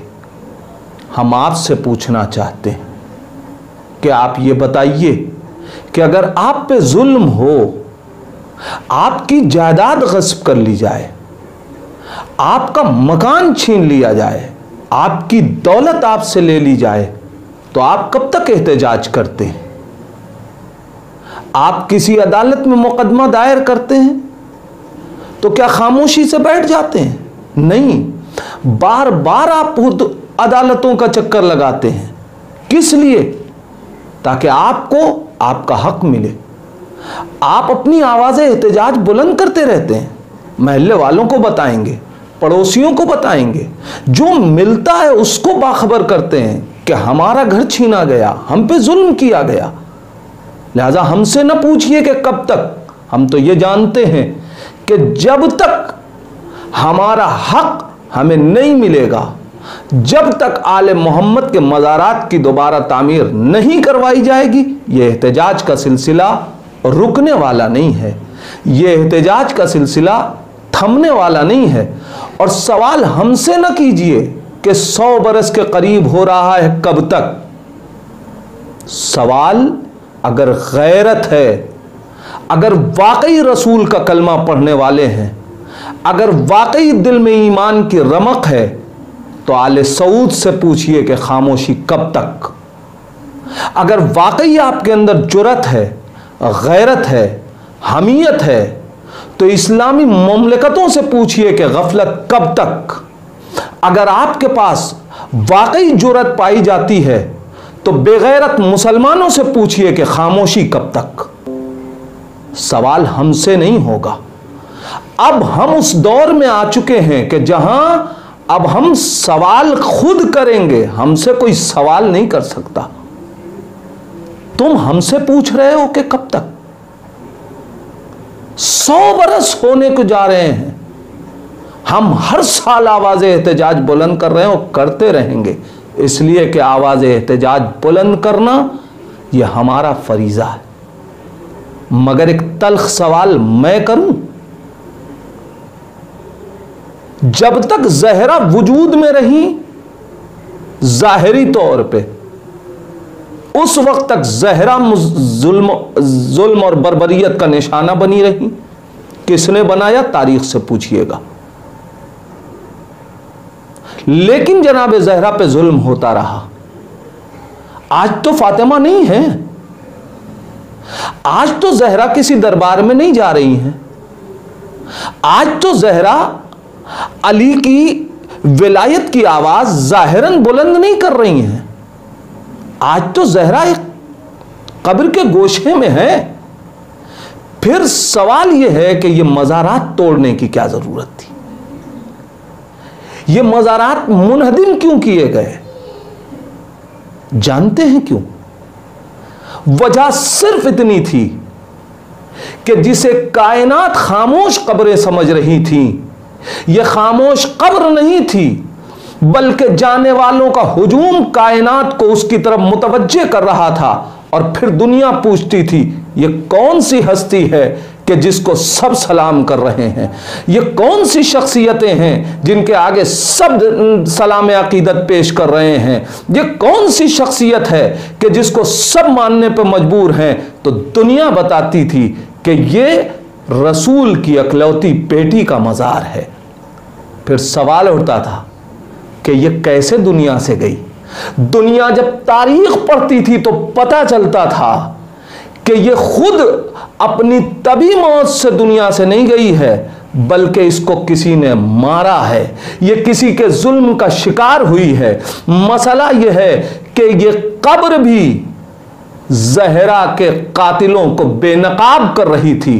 लिहाजा दुश्मन ने यह समझा कि हम इस कब्र को तोड़ देंगे, हम इस रोज़े को ताराज कर देंगे तो फिर गुजश्ता तारीख के ऊपर पर्दा पड़ जाएगा। लेकिन इन ना फहम अफराद और इन अहमक लोगों को यह बात मालूम ही नहीं थी कि यह कब्र टूटने के बाद और ज़्यादा कायनात के लिए एक पैगाम बन जाएगी और मजलूमियत जहरा और ज़्यादा कायनात के सामने रूनुमा होगी।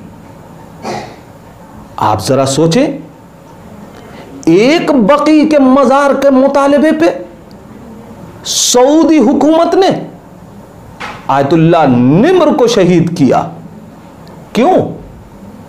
वजह सिर्फ़ यही थी कि शहीद निम्र ने जनाब जहरा की कब्र की तामीर का मुतालबा नहीं किया था। बल्कि ये तामीर का मुतालबा लोगों को मुतवज्जे कर रहा था कि ये किसकी कब्र है जिसकी तामीर का मुतालबा किया जा रहा है। और फिर कायनात के सामने खुल के जनाब जहरा की मजलूमियत की दास्तान आ रही थी। जनाब जहरा के कातिलों के चेहरे से नकाब पलट रही थी, जिसको कायनात बर्दाश्त नहीं कर रही है। लेकिन याद रखे दुनिया, तुम कब्रों को मिटा सकते हो, जहरा की फजीलतों को नहीं मिटा सकते। कुरान जब तक रहेगा, फजीलत जहरा पे कोई पर्दा नहीं डाल सकता। तुम न चाहो फजीलत जहरा को पढ़ना, मगर पैगंबर इस्लाम की हदीसें पढ़ के आवाज़ देंगी कि जहरा किस अजीम ज़ात का नाम है। मैं अपने एहतजाज को अपनी इस आवाज़ को हर दौर में लाजिम है कि शुरा अपने एतबार से, कलमकार अपने एतबार से, खुतबा ज़ाकरीन अपने एतबार से, आम इंसान अपने एतबार से इस आवाज़ को बुलंद करता रहे। मैं पैगाम देना चाहता हूँ आज बनारस के आज़ादार की इस चैनल और इस टीम के ज़रिए से कि जब आठ शव्वाल को जब तक रोज़े की तामीर ना हो जाए, पूरी कायनात में कोई मुनसिफ मिजाज मुसलमान है तो उसे चाहिए कि अगर वो उस दिन अपने ऑफ़िस में जा रहा है तो फिर या काली पट्टी बाँध के जाए, या इस तरीके की शोक की अलामत को लेके जाए, ताकि ऑफ़िस में आपसे पूछा जाए कि ये काली पट्टी किस लिए बांधे हुए हो? तो तो आप बताएँ कि हम जहरा के ऊपर जो जुल्म हुआ है, उसके लिए आवाज़ एहतजाज बुलंद कर रहे हैं। दुश्मन को हमें रुसवा करना है, हमें उससे इजहार बरात करना है, हमें उससे इजहार बेजारी करना है। और इन ये हुकूमतें कब तक रहेंगी? जब बनी उमैया और बनी अब्बास की हुकूमतें ख़त्म हो गई तो यह आल सऊद और आल यहूद की हुकूमतें क्या हैं? ये भी अनकरीब ख़त्म हो जाएँगी और वारिस जहरा कायनात में जिस वक्त ज़हूर करेगा, उस वक्त अपनी जद्दा और अपने अजदाद की कब्रों की बेहरमती करने वालों से इंतकाम लेगा। इसलिए कि अगर कोई जिम्मेदार बेटा हो अगर कोई उसकी माँ या उसके बुज़ुर्गों की कब्र पे बेहरमती करे तो औलाद बदला लेती है। याद रखे कायनात कि जहरा किसी लावारिस का नाम नहीं है। जहरा उस ज़ात का नाम है कि जो मिसदाक कौसर है, जिसके लिए कुरान ने कहा है, बिस्मिल्लाहिर्रहमानिर्रहीम, इन्ना आतना कल कौसर। ए मेरे पैगंबर, हम आपको कौसर अता कर रहे हैं। जहरा विरासत रखती है, जहरा वारिस रखती है, जहरा मुहिब रखती है, जहरा चाहने वाले रखती है। लिहाजा याद रखे दुनिया, जुल्म करने वालों को ये बात याद रहनी चाहिए कि अगर उनके जुल्म की दास्तान है तो फिर हमारी आवाज़ एहतजाज कभी बंद नहीं होने वाली है और वो दिन अनकरीब होगा, अनकरीब आएगा कि जब वारिस जहरा आएगा और मदीने में हम फिर बीबी जहरा की कब्र को उसी तरीके से बारौनक मज़ार की शक्ल में देखेंगे। मैं अपने इन चार मिसरों पे अपनी बात को ख़त्म कर रहा हूँ कि गैब से आएगा जब फ़ातिमा का नूर आन गैब से आएगा जब फ़ातिमा का नूर आन दिल पैगंबर इस्लाम को तब आएगा चैन। दिल पैगंबर इस्लाम को तब आएगा चैन। एक तरफ़ जहरा का, एक समत पयंबर का हरम। एक तरफ़ जहरा का, एक समत पयंबर का हरम। होगा एक रोज मदीने में भी बैनल हरमैन। होगा एक रोज मदीने में भी बैनल हरमैन। अल्लाह कातली फ़ातिमत जहरा सलाम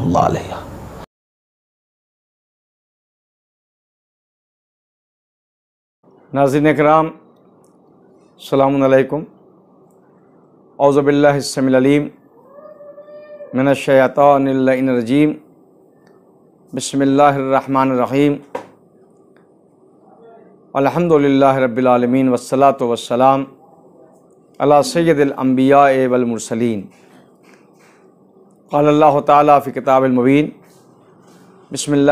रहीम असलकुम अजरन इल्लल मुवद्दता फ़िल क़ुरबा अज़ीज़ान गिरामी हुक्म परवरदिगार है अपने नबी से कि नबी अपनी लोगों से उजरत का कोई मुतालबा ना करो सिवाय ये कि क़ुरबा से मुद्दत करने का। आज आलम इस्लाम के लिए आठ शव्वाल का दिन बहुत ही स्याह दिन है और ये इसलिए स्याह दिन है कि तमाम मिलत इस्लामिया जानती है और तमाम मकातब फ़िक्र के यहाँ यह क़ानून है कि औलाद रसूल, सादात कराम का एहतराम लाजिम मलजूम है। अगर कोई सादात पर जुल्म करता है, सादात पर तंज करता है तो ये भी गलत है। और चे जाए कि औलाद रसूल की बात सिर्फ़ नहीं है, ख़ानदान रसूल की बात है, और वो भी रसालत माब की वो बेटी, जिसे फ़ातिमत ज़हरा सलाम कहा जाता है, और उनका मज़ार मुक़द्दस एक रवायत के मुताबिक जन्नतुलबकी में, और उसी जन्नतुलबकी में फ़र्जंद ज़हरा, इमाम हसन का भी मज़ार मुक़द्दस, उसी जन्नतुलबकी में हज़रत इमाम मोहम्मद बाक़िर का मज़ार मुक़द्दस। उसी बकी में फ़र्जंद इमाम हुसैन, इमाम ज़ैनआबदीन सलाम का मज़ार मुक़दस उसी में अम रसूल, जनाब इबन अब्बास का मज़ार मुक़द्दस। उसी जन्नतुलबकी में रसूल इस्लाम की दो फुफियाँ, जनाब सफ़िया, जनाब आतिका की मज़ार मुक़द्दस। और उसी जन्नतुलबकी में जनाब कासिम, जो रसूल इस्लाम का लक़ब है अबुलक़ासिम तो उस फ़र्जंद की भी कब्र उसी में। जनाब उमुलबनीन की कब्र, जनाब फ़ातिमा फ़ातिमा बिन तसद की कब्र, दिगर साहब रसूल और शदाय अहद की कब्रें, दाई हलीमा की कब्रें उसी में मौजूद है। मगर तेरह सौ चौवालीस हिजरी से पहले इन मज़ारात पर कुब्बे थे, रोज़े थे, ज़ायरीन हजाज जाते थे, बाकायदा जाके ज़्यारत करते थे। मगर आल सऊद ने तेरह सौ चौवालीस हिजरी में इस बकी पर बहुत बड़ा जुल्म किया और इन तमाम मज़ारात मुक़दसा को मुनहदिम कर दिया। लिहाजा आज पूरे आलम इस्लाम में जो मुद्दत करने वाले हैं, सिर्फ़ मोहब्बत करने वाले नहीं, मोहब्बत करना और होता है मुद्दत करना और होता है मुद्दत सिर्फ़ ज़िंदगी में नहीं, हमेशा और हमेशा करनी चाहिए। लिहाजा कुछ मुसलमान वो हैं जिन्होंने सही तरीक़े से आल रसूल को पहचाना नहीं। आज पूरे आलम इस्लाम के मुसलमानों की अहम ज़िम्मेदारी है कि आज शवालमकरम की तारीख़ से पूरे आलम इस्लाम को बताया जाए, ताकि इनके ऊपर जो नकाब पड़ी है सऊदी पर, उस नकाब को उतार करके सामने चेहरा लाया जाए ताकि मालूम हो ये वो लोग हैं जिन्होंने ज़िंदगी में भी आल रसूल पर जुल्म किया है। बाद वफ़ात, बाद शहादत भी वो जुल्म कर रहे हैं। उनकी ख़बरों को मुनहदिम कर दिया। हम आज एहतजाज इस लॉकडाउन के ज़माने में हम सोशल मीडिया के ज़रिए से, हुकूमती हुक्काम के ज़रिए से हम उन्हें मेमोरेंडम पेश करके आज हिंदुस्तान में एहतजाज मना रहे हैं। चूँकि लॉकडाउन में हम रोड पे नहीं जा सकते, हम धरना नहीं दे सकते, मगर हम अपनी भारत सरकार से हमने ये आग्रह किया है, हमने अपने स्टेट के सीएम से आग्रह किया है कि आप और हम गृह मंत्री से हमने ये आग्रह किया है कि आप किसी तरीके से भी गुजारिश की गई है कि आप किसी तरीके से भी हमारे हिंदुस्तान के इन शियों की आवाज़ को कम से कम आप जो है वजारत दाखिला तक पहुँचाएँ, ताकि वजारत दाखिला सऊदी हुकूमत से हम सब की आवाज़ को मुताल करे, मुतालबा करे कि जल्द अज जल्द जो है बकी की तामीर के रास्ते फराहम होने चाहिए। अगर बकी की तामीर नहीं होती है तो हम एक दिन वो आएगा कि पूरे आलम इस्लाम का शिया रोड पर उतर करके एहतजाज करता नज़र आएगा और सऊदी हुकूमत का जीना दूभर कर देगा। और आज जो हजाज जो ज़ायरीन जन्नतुलबकी जाते हैं, मदीन मनवर जाते हैं, उनकी ये ख्वाहिश होती है कि गुंबद रसूल के बाद जो है, उस बकी की ज़्यारत ज़रूर की जाए, जहाँ पे औलाद रसूल, असहाब रसूल, ख़ानदान रसूल के अफराद दफन हैं। लिहाजा हम आज आठ शवाल, चौदह सौ इकतालीस हिजरी को और इस हिंदुस्तान में, बहरहाल पूरे आलम इस्लाम में लॉकडाउन चल रहा है। लिहाजा आज का एहतजाज हम इसलिए कर रहे हैं और एहतजाज पूरे मुसलमानों को करना चाहिए। अगर वाकई आप रसूल और आल रसूल से मोहब्बत रखते हैं, हम ये नहीं कहते कि आज एहतजाज सिर्फ़ शिया करें। अगर आप पंजतन को मानते हैं तो आप पे लाजिम है कि आप एहतजाज करें, वरना ज़ुबानी दावे और होते हैं, कलबी और अमली दावे और हुआ करते हैं। लिहाजा मैं फिर गुजारिश करना चाहता हूँ अपने इस नाजरीन से और अपने हिंदुस्तान की हुकूमत से, अपने हिंदुस्तान के वज़ी अजम से कि आप सऊदी हुकूमत से मुतालबा करें कि यहाँ के मुसलमानों की एक आवाज़ है कि जन्नतुलबकी तामीर होना चाहिए। जन्नतुलबकी पर गुंबद तामीर होना चाहिए। अगर सऊदी हुकूमत इसके लिए कोई भी फंड, फंडिंग नहीं करना चाहती, फंड नहीं देना चाहती तो वह सिर्फ़ हम लोगों को इजाज़त दे। हम इन पूरी हिंदुस्तान और दिगर ममालिक के जितने मुहिबान अहलबैत वाले अहलबैत हैं वो इन इस रोज़ा मुक़दसा की तामीर करके पूरे आलम इस्लाम के लिए एक नमूना पेश कर देंगे। लिहाजा मैं आठ शवाल को इस सानहे पर इस योम जन इनहदाम जनतुल बकी पर आ, हम मजम्मत करते हैं सऊदी हुक्काम के अमल की और बिलखसूस आल सऊद की, हम आल सऊद पे इसलिए लानत भेजते हैं कि उन्होंने सिर्फ़ मुसलमानों का दिल नहीं दुखाया है, आल मोहम्मद का दिल दुखाया है। जो आल मोहम्मद का दिल दुखाता है, वो कल भी लानती था, आज भी लानती है, क़यामत तक लानती रहेगा। अब हमसे ये ना कहिए कि आल सऊद पे आप लानत क्यों करते हैं। हम इसलिए लानत करते हैं कि अगर हमारे बाप की कब्र के साथ कोई तोहन करेगा या मुनहदिम करेगा तो हम उसे बर्दाश्त नहीं कर सकते। तो चे जाए कि आल मोहम्मद की कब्रों को आल सऊद ने मुनहदिम किया है। हम इसलिए उस पर लानत भेजते हैं। आल सऊद मुर्दाबाद, सऊदी हुकूमत मुर्दाबाद, इस्लाम जिंदाबाद। कल भी था, आज भी है, क़यामत तक रहेगा इन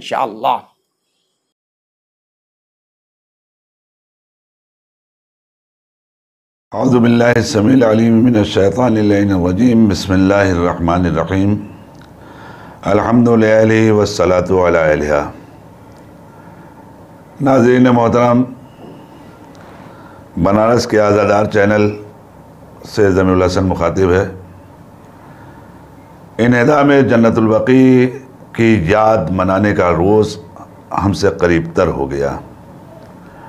आठ शवालमज़म इनहदा में बकी का दिन है। ज़ाहिर है कि ये दिन हम सब के लिए नहायती तसफ़, नहायती गम आलम रंज हज़न मलाल का दिन है। उसकी वजह यह है कि आल सऊद की बरबरीत ने तकरीबन आज से करीब करीब सौ बरस कबल, यानी बारह सौ चौवालीस में बकी को सिरे से मुनादिम किया गया है और चौदह सौ इकतालीस चल रहा है। तेरह सौ इकतालीस से लेकर यह मंजिल अगर देखा जाए तो तकरीबन सौ वर्ष ये करीब हो रहे हैं कि इनहदा में जन्नतुलबाक़ी का किस्सा वाक़ सारी दुनिया में लोगों के लिए जितने भी अहले ईमान हैं, उनके लिए दिलसोजी का और दर्द का, अलम का, रंज का महवर बना हुआ है। सारी दुनिया में मुसलसल एहतजाजात भी हुए और हो रहे हैं और होते रहेंगे। इसलिए कि दुनिया इस्लाम का ये वो कब्रिस्तान है कि जिसमें सबसे पहले सिपुर्द लहद होने वाले साहबी, अजीम साहबी उस्मान इब्न मज़ून हैं, जो जलील कद्र साहबी हैं। फिर उसके बाद खानवद रसालत माब की फ़र्दें। मुसलसल वहाँ पर मदफून हुई। जनाब इबन अब्बास हुए। जनाब उमुलबनीन हुई। अजवाज ख़त्मी मरतबत हैं। ख़ुद जनाब सरकार ख़त्मी मरतबत के बेटे जनाब इब्राहिम, उनका मज़ार है। इसी तरीके से दीगर मज़ारात। लेकिन इन सारे मज़ारात में हमारे चार मासूमीन के मज़ार यानी हमारे मौला आका इमाम हसन मुशतबा का मज़ार इमाम ज़ैनुलाब्दीन इस्लाम का मज़ार इमाम मोहम्मद बाकर इस्लाम का मज़ार इमाम जाफ़र सदक का मज़ार। ये मज़ारात जिनके ऊपर बाकायदा गुंबद भी थे इन मज़ारात में इस, इस कब्रिस्तान में इनका रोज़ा था और लोग जाते थे जाकर ज़ियारत करते थे। बोसा देते थे, फरियाद करते थे गिलगराते थे, अपनी हाजतें और मुरादें पाते थे। लेकिन जिस वक्त साम्राज्यत ने इस्लाम का मुकाबला करने के लिए अपनी जानब से कुछ तैयार किए हुए अफराद को कायनात के सामने रखा, जिनमें से एक नजदी ख़ानदान, जिसको वहाबियत का प्रचार करने के लिए वहाबियत की शहरत और तरबियत करने के लिए उसने तैयार किया था। अब्दुल वहाब इब्न तैमिया इब्न तैमिया ने आने के बाद जो आफतें ढाई सऊदीया जहाँ पर बाकायदा तुर्की हुकूमत थी और तुर्की हुकूमत को बदला गया तो तुर्की हुकूमत पर कब्ज़ा करने के बाद ये आल सऊद, जो आल यहूद हैं, जिन्होंने मिशन ये बनाया कि दो फ़िरक़ों के एतबार से इस काम को किया जाए। एक फ़िरका सियासी हो, एक फ़िरका दीनी हो, यानी दीन और सियासत को जुदा जुदा किया जाए।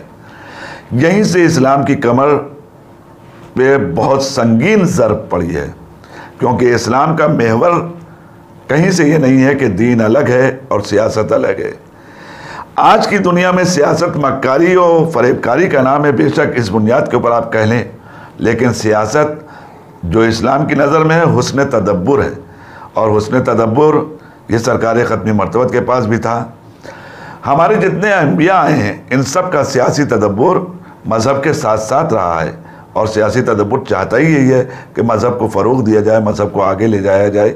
इस बुनियाद के ऊपर मुल्क को भी चाहिए, इकतदार भी चाहिए और इसी बुनियाद के ऊपर शायद कुदरत ने हमारे सामने अम्बिया में ऐसे बादशाह के दर्जे के ऊपर फ़ायज़ अम्बिया भी रखे जनाब सुलेमान। पैगंबर की बात है या जनाब लकमान की बात है। इस तरीके के और भी दीगर अम्बिया इकराम में से अफराद हैं कि जिन्होंने हुकूमतें की हैं। और उन्होंने बताया कि दीन और सियासत, ये अगर साथ साथ हैं तो इंसान तरक्की करता है, इंसान आगे बढ़ता है। लेकिन अगर इससे इंसान अलग हो जाए तो फिर, और यही नाबूदी के लिए दुनिया ने चाहा था कि इस्लाम को कमज़ोर किया जाए, इसलिए यह काम किया गया। बहरहाल, हमें अफसोस है कि ये दिन हमारे लिए नहायत मलाल का दिन है और हम जहाँ तक मुमकिन होता है हम शोक मनाते हैं और शोक मनाते हैं हमारे बनारस शहर में। अलहमदिल्ला हर साल इनदाम जनतुलबकी पर अलम मुबारक बरामद होता है और आ, लोग काफ़ी दूर तक अलम लेकर के आते हुए एहतजाज करते हुए इसको एक शोक का उनवान दिए हुए हैं एहतजाज का भी उनवान दिए हुए हैं रोते हैं गिड़गिड़ाते हैं फरियाद करते हैं। लेकिन इस साल लॉकडाउन है आ, शायद हुकूमत की तरफ़ से इजाज़त न मिल पाए लेकिन इसका मतलब ये नहीं है कि हम खामोश बैठ जाएँ। हमारा फरीज़ा ये है कि अगर हम कुछ नहीं कर सकते तो कम से कम उस दिन घरों पे अगर मुमकिन हो सके तो सियाह परचम लगा लें। और ला नफरीन और लान इन दुश्मनान के लिए अपनी अपनी जगह पर कम से कम कर सकें। और जहाँ तक मुमकिन हो सकता है प्रिंट मीडिया के ज़रिए या इस तरीके के चैनल वगैरह के ज़रिए से अपने गम गुस्से का इजहार किया जाए। हम दुआ करते हैं कि परवरदिगार, वो दिन जल्द लाए कि जो हमारा वारिस दीन का, इस्लाम का, हम सब का पर्दा गैब में है, उसके जहूर में ताजुल हो जाए, ताकि उसकी जद्द माजदा का मज़ार बकौल। जनाब इबन शहर आशूब और बकौल जनाब शेख सदूक अलैहिस्सलाम, के बीबी का मज़ार जन्नतुलबकी में है। हालाँकि रवायतें इसके सिलसिले में मुख्तलिफ़ मिलती हैं। माँ बैना महराबी व मंबरी एक रवायत ही महराब व मंबर के दरमियान एक रवायत ही है कि हजर सरकार ख़त्मी मरतबत में और एक रवायत जो आपने ज़िक्र की कि जन्नतुलबकी में। बहरहाल हमें अफसोस होता है। हम अपने अफराद के लिए, अपने वलियों के लिए उनकी दरगाह को जब पुरौनक देखते हैं, उनकी दरगाह पर साया देखते हैं चाहे इस दुनिया में देख लीजिए जितने भी दर्दमंद दिल रखने वाले हैं आले मोहम्मद से मोहब्बत करने वाले हैं, उन लोगों से पूछिए, उनको कितना दुख होता है जब वो किसी वली खुदा के मज़ार पे जाते हैं और उस पर साया देखते हैं, उसके ऊपर भीड़ देखते हैं, उसके ऊपर लोगों को आते हुए फातिहा खानी करते हुए देखते हैं और उनकी नज़र में, उनके जहन में जब ये बात जाती है, हाय जिनकी बदौलत ये विलायत मिली हो, जिनकी बदौलत ये क़ुव्वत हमें इन लोगों को मिली है, इनके मज़ार तो इतना आबाद हैं, लेकिन वो अफराद ख़ुद जो वली थे अल्लाह के वली थे उनके मज़ार चाहे इमाम सदक सलाम हो चाहे इमाम बाकर सलाम हो चाहे इमाम हसन मुशतबा सलाम हो चाहे इमाम सज्जाद के जो करबला के पूरे मंसूर का एक बानी और एक मुहाफ़ था कि जिसने जुल्म बरबरीत से बाकायदा मुकाबला किया था सब्र के साथ सुकून के साथ और जिसने ताली कायनात को अपने पैगाम से आ, और इबरत आमोज दुआओं से कायनात को बताया था कि हम वाक़ मंसूर हुसैनी को मिटने देने वाले नहीं हैं। उनके मज़ारात आज वीरान हैं। उनके मज़ारात पे कोई साहिबान नहीं है। उनके मज़ारात उजड़े पड़े हुए हैं। बिलखसूस उस पहलू शिकस्ता बीबी का मज़ार कि जो आज वाक़ वीरान पड़ा हुआ है। हम खून के आँसू रुलाता है। हमें अफसोस होता है। शाहजादी, आपका मज़ार इस तरीके से वीरान है और हमारा कोई बस नहीं है। परवरदिगार, उस वली को जिसको तूने पर्दे गैब में रखा है, जल्द से जल्द भेज ताकि उसके सरवरी में और उसके फरमान के मुताबिक उनकी मदद करते हुए और नुसरत करते हुए हम लोग फिर से इन मज़ारात को तामीर कर सकें और अगर क्या अच्छा होता कि इमाम की आमद से पहले उनके आशिकों को ये मुजदा मिल जाता और ये काम वो कर सकते कि इन मज़ारात की तामीर कर सकें। खुदा, तुझे वास्ता है मोहम्मद वाल मोहम्मद का कि तो इन आल सऊद जो आल यहूद हैं, इनको नस्त व नाबूद फरमा और जो उन अफराद को कि जो मलूकियत का ताज पहन करके बड़ा इतराते हैं और नाश करते हैं, जो कुरान के अहकाम के बिल्कुल सही खिलाफ काम करते हैं, क्योंकि कुरान कहता है, अहले ईमान, यहूद व नसारा को हर किस अपना वली और सरपरस न बनाओ, और इन इमाम काबा, इमामुल हरमैन जिन्होंने अपने अंदर लकब लिया हुआ है,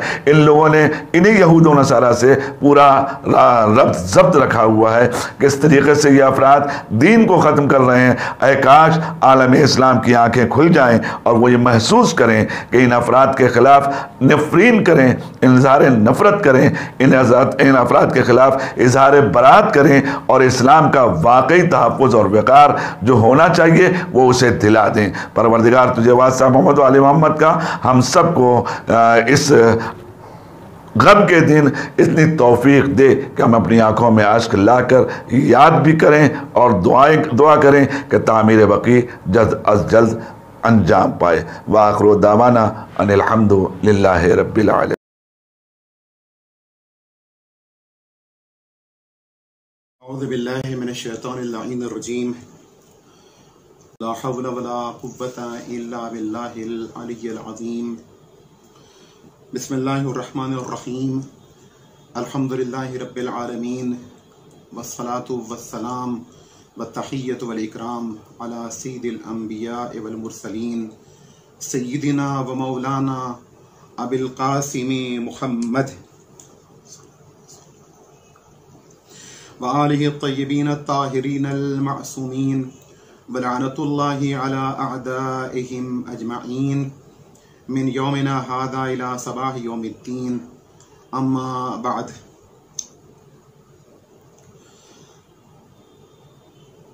मोमिन कराम आज शवाल मुकरम की आठवीं तारीख है और तमाम दोस्तदारान अहल बैत और मुआलिया ने खानवाद रिसालत इस तारीख की अहमियत से अच्छी तरह वाकिफ़ हैं। आज का दिन हर साल योम जनतुलबकी के उनवान से मनाया जाता है। ये हमारे लिए सोग और अज़ा का दिन भी है और एहतजाज और गम गुस्से के इजहार का दिन भी है। लोग इस दिन की अहमियत से अच्छी तरह वाकिफ़ हैं कि आज ही की तारीख में, यानी आठ शवाल मुकर्रम, सन चौदह सौ चवालीस हिजरी को आलम इस्लाम और तारीख़ इस्लाम का एक अजीम तरीन अलमिया उस सरजमीन पर रुनुमा हुआ था जहाँ पैगंबर आराम फरमा हैं जो सरजमीन अहले बैत की आमाजगाह थी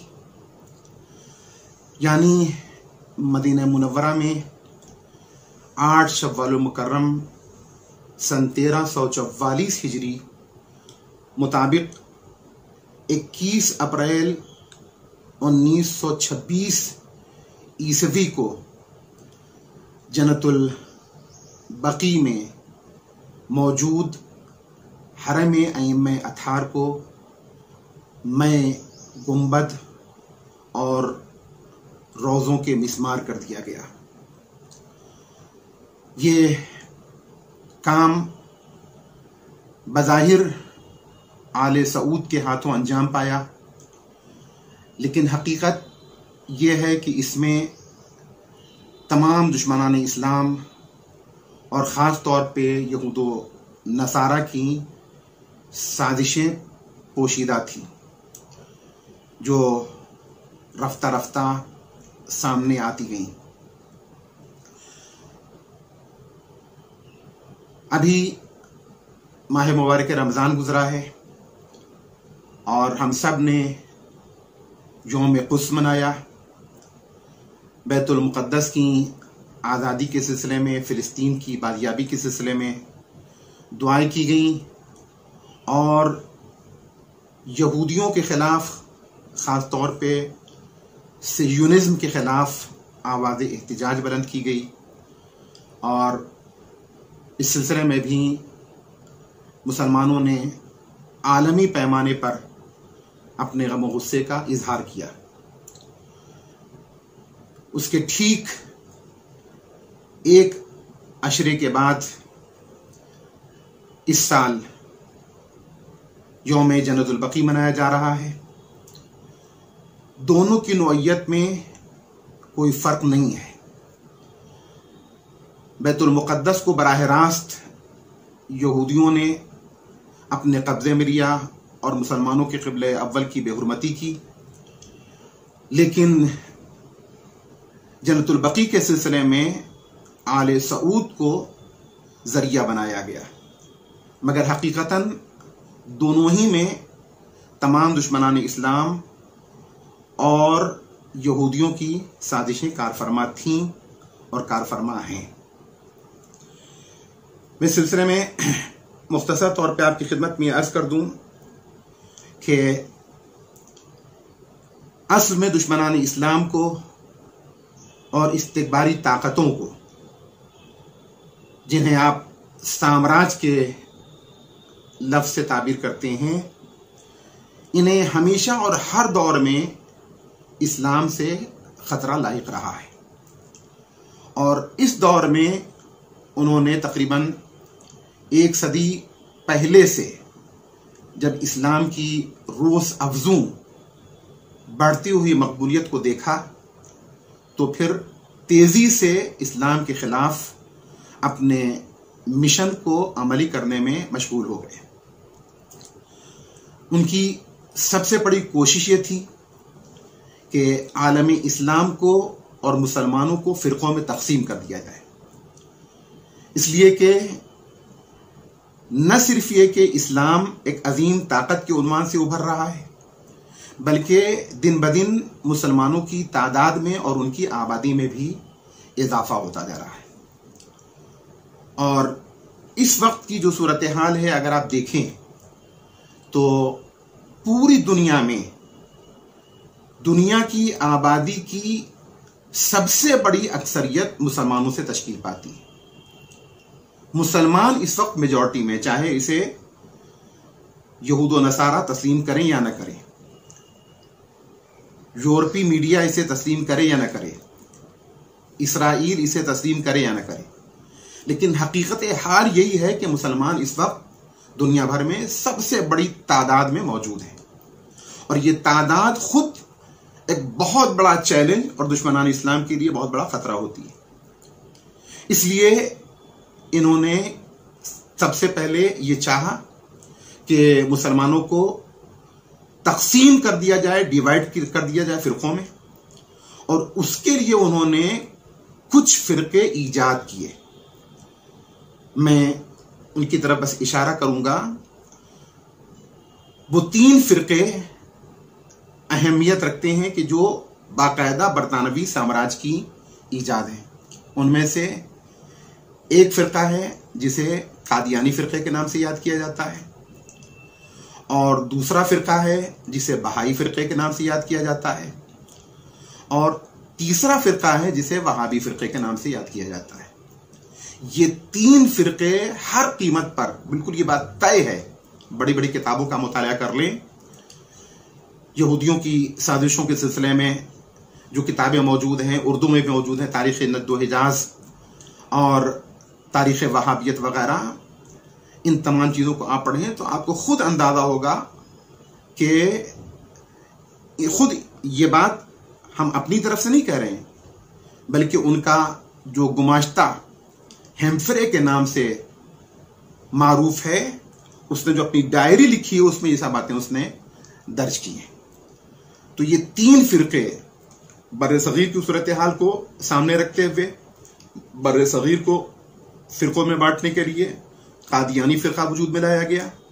ईरान की सूरत हाल को सामने रखते हुए बहाई फ़िरके को वजूद अता किया गया और पूरे आलम इस्लाम को डिवाइड करने के लिए और फ़िरक़ों में तकसीम करने के लिए वहाबी फ़िरका वजूद में लाया गया। और वहाबी फ़िरक़े की नशर इशात मुमकिन नहीं थी। उस वक्त तक जब तक के उसे किसी हुकूमत का सहारा न मिल जाए। यानी इकतदार न हो, पावर हाथ में न हो। इसीलिए हिजाज में, जजीरतुल अरब में जो इलाकाई हुकूमतें पाई जाती थीं, उनको ख़त्म करके एक बड़ी हुकूमत तश्कील दी गई और उस हुकूमत का सरगना और सरबराह डाकुओं के और लुटेरों के एक गरोह को करार दिया गया। यही गरोह आले सऊद के नाम से मौसूम किया जाता है। इसी को आले सऊद के नाम से तारीख ने याद किया है। इसलिए कि ये सब के सब मोहम्मद इब्ने सऊद की नस्ल से हैं और उनका सबसे पहला और बड़ा बादशाह अब्दुल इब्ने, अब्दुल अज़ीज़ इब्ने सऊद था, जिसके ज़माने में जनतुलबक मुंदी किया गया। तो तमाम आलम इस्लाम को डिवाइड करने के लिए, फ़िरक़ों में बांटने के लिए वहाँ भी फ़िरका वजूद में लाया गया। कादियानी फ़िरका वजूद में लाया गया और बहाई फ़िरका वजूद में लाया गया।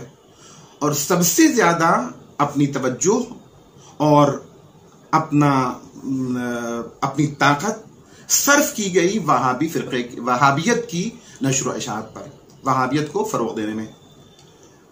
और इस सिलसिले में, वहाबियत के सिलसिले में बुनियाद इब्न तैमिया के अफकार नजरियात को करार दिया गया कि जो यकीनन नासिबी था और दुश्मन अहल बैत था। और अजब नहीं कि उसका ताल्लुक यजीदी नस्ल से हो। और हकीकता देखा जाए तो वहाँ भी फिरके में शुरू से आखिर तक, अब तक आपको यजीदी नस्ल के लोग दिखाई देंगे, जो अहले बैत की दुश्मनी में ताक दिखाई देते हैं। तो एक तरफ़ उनको वजूद अता किया गया ताकि हमें और तमाम आलम इस्लाम इस्लाम को डिवाइड कर सके। और दूसरी तरफ़ उनकी कोशिश हुई कि इस्लामी आसार को मिटाया जाए, खत्म किया जाए। क्यों? इसलिए कि इस्लामी आसार किसी भी कौम का बहुत बड़ा सरमाया होते हैं। किसी भी कौम के लिए अजीम, फरहंगी और सकाफती दौलत के उनवान से उस कौम को वो पहचानवाते हैं, उसकी शनाख्त का ज़रिया होते हैं। चुनानचे मदीने में सबसे अहम तरीन और सबसे अजीम जो हमारे पास सरमाया था, सकाफती सरमाया, वो आहर सरकारी ख़त्मी मरतबत सल्लल्लाहु अलैहि वसल्लम का रोज़ मुबारक हरम नबवी। और इसी सूरत से मक्के में अल्लाह का घर, जो हमारा किबला है, जिसकी तरफ़ हम नमाज़, रुख करके नमाज़ पढ़ते हैं। चुनानचे उन्होंने पैगंबर के हरम से लेकर खाना काबा तक को मिसमार करने का और उसे मिटा देने का मंसूबा बनाया। लेकिन पहली ही फुर्सत में वो खाना काबा और हरम नबवी को निशाना नहीं बना सकते थे। उन्हें मालूम था कि आलम इस्लाम की तरफ़ से इसका सख्त रद्द अमल ज़ाहिर होगा और हम अपने मिशन में कामयाब ना हो सकेंगे। लिहाजा छोटे छोटे मदारात से इसका सिलसिला शुरू किया। सबसे पहले तकरीबन तारीफ़ बताती है कि पंद्रह खुद फरोश मुफ्तियों को, कि ऐसे मुफ्ती बनी उमैया और बनी अब्बास के दौर में मौजूद रहे हैं। उनसे फतवा लिया गया कि कब्र के ऊपर इमारत का बनाना, रोज़ों की तामीर, हरम की तामीर, ये सब हराम है। उसके ऊपर जरी नस्ब करना, ये हराम है। कब्र की ज्यारत करना हराम है। कब्रिस्तान जाना और उसको ज़्यादा अहमियत देना ये बिदअत है शिरक है। इन तमाम फतवों को न, को नशर किया गया और उन्हीं फतवों की बुनियाद पर आले सऊद के हाथों जो उस वक्त वलीहद भी था अब्दुल अब्दुल अज़ीज़ इबन सऊद के ज़माने में और उसी के साथ साथ वो चीफ जस्टिस काजुल खुजाद भी था। उसके हुक्म से मज़ारात को मिसमार किया गया और जनतुल बकी को मुनहदिम किया गया। हरम आइम अथार को मुनहदिम किया गया कि वहाँ बाकायदा गुंबद बना हुआ था, हरम की शक्ल थी और जरी भी मौजूद थी। लोग ज़्यारतों के लिए भी आते थे और अहल बैत का वो हरम मोमिन की और दोस्तारा अहल बैत की आमाजगाह था। तो उसे ख़त्म किया गया। इससे पहले वो हमला कर चुके थे करबला में भी। करबला में इमाम मजलूम के हरम को भी ख़त्म करने के लिए और निस्त नाबूद करने के लिए, सरकारी सैदुशहदा के हरम को भी ख़त्म करने के लिए उन्होंने हमला किया था और मिसमार किया था। लेकिन फिर उसके बाद दोबारा वहाँ हरम तामीर हो गया और फिर उन्होंने अपने मिशन को दोबारा यहाँ से आगे बढ़ाना शुरू किया। चुनाचे वो तारीख आठ चौवाल, सन तेरह सौ चौवालीस हिजरी और इक्कीस अप्रैल उन्नीस सौ छब्बीस ईस्वी की थी, जब बकी को जन्नतुल बकी को मुनहदिम करने के बाद पैगंबर के रोज़े को, जिसे गुंबद खजरा के नाम से ताबीर किया था, उसे मुनहदिम करना था और उसे वो सनम अकबर से ताबीर करते थे। सनम अकबर यानी सबसे बड़ा बुत। और उसके बाद फिर खान काबा की बारी थी। लेकिन जैसे ही जन्नतुल बकी को उन्होंने मिसमार किया, आलम तशैयों में एक हलचल बर्पा हो गई, एक कोहराम बर्पा हो गया। और ख़ास तौर पर ईरान ने सख्त रद्द अमल का इजहार किया, सऊदी हुकूमत को तस्लीम करने से इनकार किया, और उसी के साथ साथ अपने जो सिफारती और इस तरह के ताल्लुक हो सकते थे सियासी, उन ताल्लुक को ख़त्म कर दिया और बड़े पैमाने पर, वसी पैमाने पर एहतजाज किया। उससे वो खौफजदा हुए और इसी सूरत से पूरी दुनिया में जहाँ जहाँ शी आबाद थी। खासतौर पर हिंदुस्तान की सरजमीन। हिंदुस्तान में सर जानते हैं, बनारस में हर साल ये दिन योम जन्नतुलबकी के उन्माद से मनाया जाता है, जुलूस निकलता है, आलम निकलता है। और फिर उसके बाद काली महल और चौक चौबारा से होता हुआ जामिया मस्जिद पे आके ख़त्म होता है, फिर वहाँ मस्जिद वगैरह होती। तो चूँकि आलमी सतह पर, बड़े पैमाने पर शियों ने रद्द अमल का इजहार किया, एहतजाज किया और गम गुस्से का इजहार किया, इसकी बुनियाद पर वो खौफजदा हुए और उनकी हिम्मत न पड़ी कि वो पैगंबर के हरम को हाथ लगाते पैगंबर के हरम को मिसमार करने के सिलसिले में किसी तरह का कोई इकदाम करते, उनकी ज़रूरत न हो सकी। लेकिन आप आज भी जाएँ तो पैगंबर के सिलसिले में उनका इनाद ज़ाहिर है। पूरी मस्जिद नबवी को देख लें, कितनी आलिशान बनी हुई है। और जगह जगह उसमें जहाँ जहाँ लाइटें हैं, वहाँ पे सोने भी लगे हुए हैं।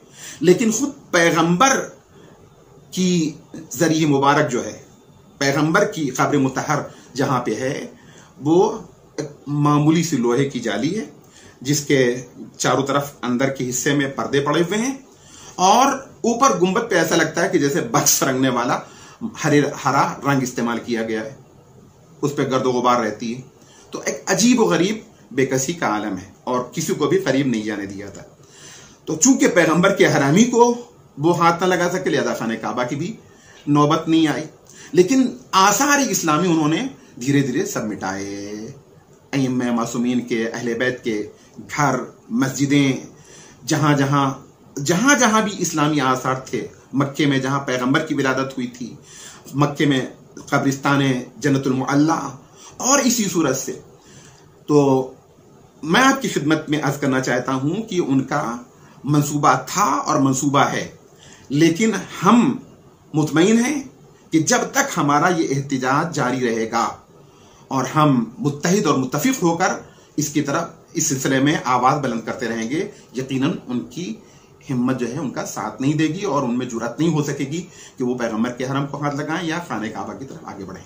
और इसी सिलसिले में हम ये भी दुआ करेंगे और तमाम आलम इस्लाम को इस बात की दावत देंगे कि वो इस हकीकत को समझें और आले सऊद के शर से आलम इस्लाम को नजात दिलाएँ और जल्द से जल्द आलम आले सऊद का खातिमा हो। हम उनकी मजम्मत क्या करें इसलिए कि वो इससे भी गए गुजरे, इससे भी बदतर हैं इससे भी गए गुजरे हैं कि उनकी मजम्मत की जाए। इसलिए कि वो शयातीन हैं, वो वक्त के यजीद हैं। उनको मजम्मत से, उनकी मजम्मत से और उनसे मुतालबा करने से किसी तरह का कोई काम नहीं चलने वाला है। बस हाल इसी में है कि इन मलाइन का खात्मा हो और जन्नतुल बकी की दोबारा तामीर हो और आलम इस्लाम को उनके शर से निजात मिले। हम जन्नतुल बकी के इन्हदाम के सिलसिले में कि ये योम आज़ाबी है। अपने ज़माने के इमाम, सरकार बकीतुल्लाज़म हज़रत इमाम ज़माना ताला फरोज शरीफ के बारगाह में तादियत पेश करते हैं। आलम इस्लाम और रहबर इनकलाब की खिदमत में तादियत पेश करते हैं। तमाम की खिदमत में तादियत पेश करते हैं और दुआ करते हैं कि पालने वाले जल्द से जल्द यहूद और आल सऊद दोनों का खात्मा फरमा ताकि इनके फितने से आलम इस्लाम को निजात मिल सके। वाखिर दावान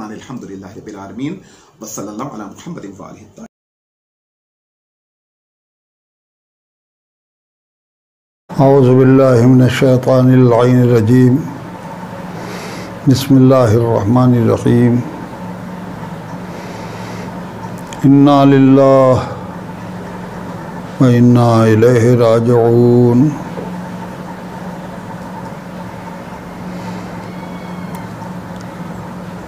इन्हदाम जन्नतुलबकी के सिलसिले में तफसील से और हजरात बयान कर रहे हैं और करेंगे। मैं बहुत ही इख्तसार के साथ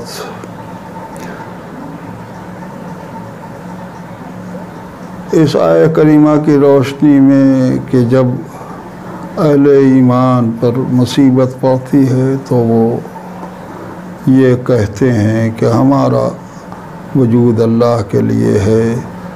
और उसी की बारगाह में हमको जाना है।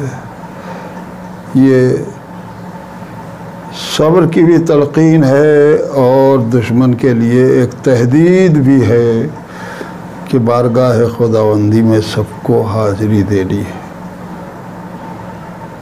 सदमा अहले वला के लिए खसूस और तमाम अरबाब इस्लाम के लिए उमूमन है कि जहाँ रोज़ा पैगंबर इस्लाम का मौजूद है, जहाँ बाकी और अइम्मा का रोज़ा मौजूद है, एक जगह पाँच पाँच मासूमीन जहाँ मौजूद रहूँ उनके रोज़े को मुनहदम कर दिया गया है। ये स, ये हमारे लिए बे इंतहा कलक की बात है रंज की गुफ्तु है। मैं इस जन्नतुलकी की अहमियत के का तस्करा कहाँ तक कर सकता हूँ? खानवाद रसालत की बड़ी बड़ी शख्सियतें यहाँ दफन हों। उसकी अज़मत का क्या कहना? अलबत् अफसोस इस बात का है कि दूसरों की कब्रों के निशानात मौजूद हैं, जहाँ रोज़ा मुकम्मल मौजूद था और लोग ज़्यारतें किया करते थे। आल रसूल की दुश्मनी में उसको मिटा दिया गया। और इसका सिलसिला सिरा यह है कि तकरीबन 200 बरस कबल यहूदियों की साजिश से तीन मज़हब एक सदी में एक साथ ईजाद किए गए थे मुसलमानों में तफरक़ा पैदा करने के लिए। हिंदुस्तान में कादियानियत पैदा की गई कि मुसलमानों में इफ्तराक पैदा हो।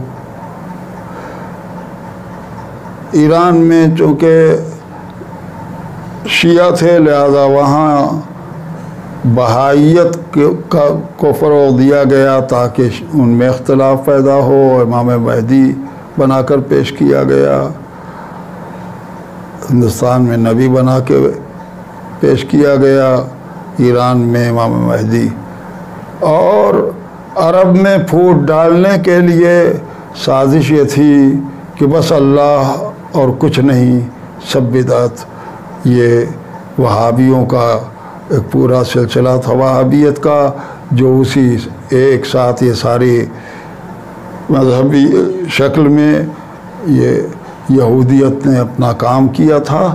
आज उसी का नतीजा है कि और मुल्कों में दूसरे मजाहब को तो हुकूमत ने नहीं सराहा, लेकिन वहाबियत को शाह सऊद ने सरकारी मज़हब बना लिया और उसकी बिना के ऊपर अब जो रोज़े को भी गिराया गया और रोज़े के बाद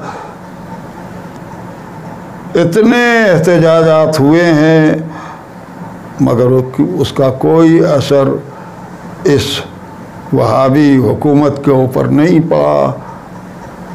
हम रंजीदा हैं। एक के बाद एक जुल्म हुआ, होता रहा। मासूम कौनैन के ऊपर पहला जुल्म तो ये हुआ कि उनका पहलू शिकस्ता हुआ, दरवाज़ा गिराया गया शिकम में बच्चे की शहादत हुई।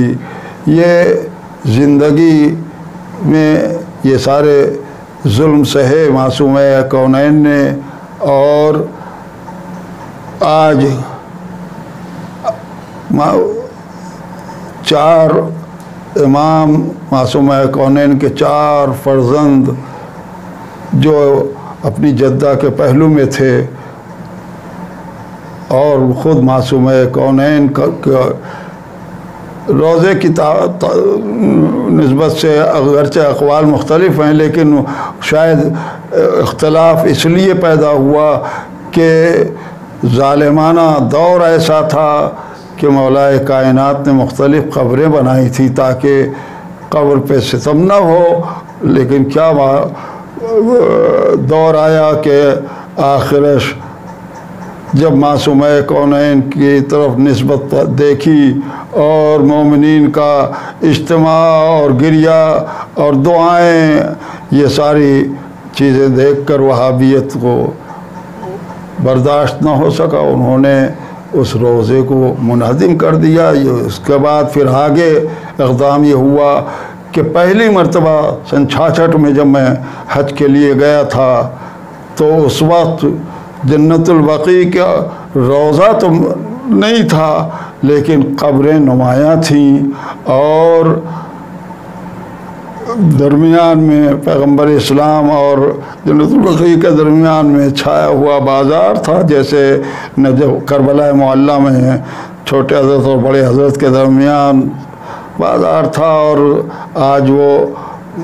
सहन बन चुका है। और बैन हरमैन की हैसियत मिल चुकी है। उसी तरीके से ये पूरा सिलसिला वहाँ भी बाज़ार का ख़त्म हो चुका है और कम अज़ कम इतना तो था कि जब मैं पहली बार मुशर्रफ हुआ था तो कब्र से करीब तक पहुँचा था और बोसा दे लिया था कब्र को। लेकिन आज बार बार जब मुशर्रफ होता रहा तो सख्तियाँ बढ़ती गई यहाँ तक कि उस रोज़े की जगह का सिलसिला जो है गहराई में डालकर कब्रों के निशानात को ख़त्म कर दिया। एक, एक चंद पत्थर रख कर के मजमे को दूर कर दिया कि कोई करीब न जा सके और बोसा देना तो दरकिनार करीब से इन कब्रों की ज़ियारत भी नसीब न हो सके। ये बहुत ही सदमे और कलक की बात है। मैं इस पहलू शिकस्ता और कब्र शिकस्ता बीबी के जुल्म को पर जितना भी आँसू बहाऊँ, जितना भी गिरिया करें, हम मवालियान अहल बैत कम है। बजिस के कोई चारा नहीं है कि हम बारगाह खुदाबंदी में गिड़गिड़ाएँ, इल्तजा करें कि या तो हुकूमत को नेस्त नाबूद कर दे परवरदिगार और ऐसे अफराद को भेज दे कि जो जन्नतुलबकी की तामीर कर सकें और हमारे गमगीन दिलों को शाद कर सकें। और अगर नहीं तो बारगाह खुदाबंदी में फिर दूसरी दुआ ये है कि पालने वाले हिजाब गैब से वारिस फ़ातिमा को भेज दे, जो आकर दुश्मनों से इंतकाम लेकर नेस्त नाबूद कर दें, वहाबियत को और जुल्म को और अदल की बुनियाद पर फिर से रौनक दोबारा हो जाए और चाहने वाले इस ज़्यारत से महरूम न रहें।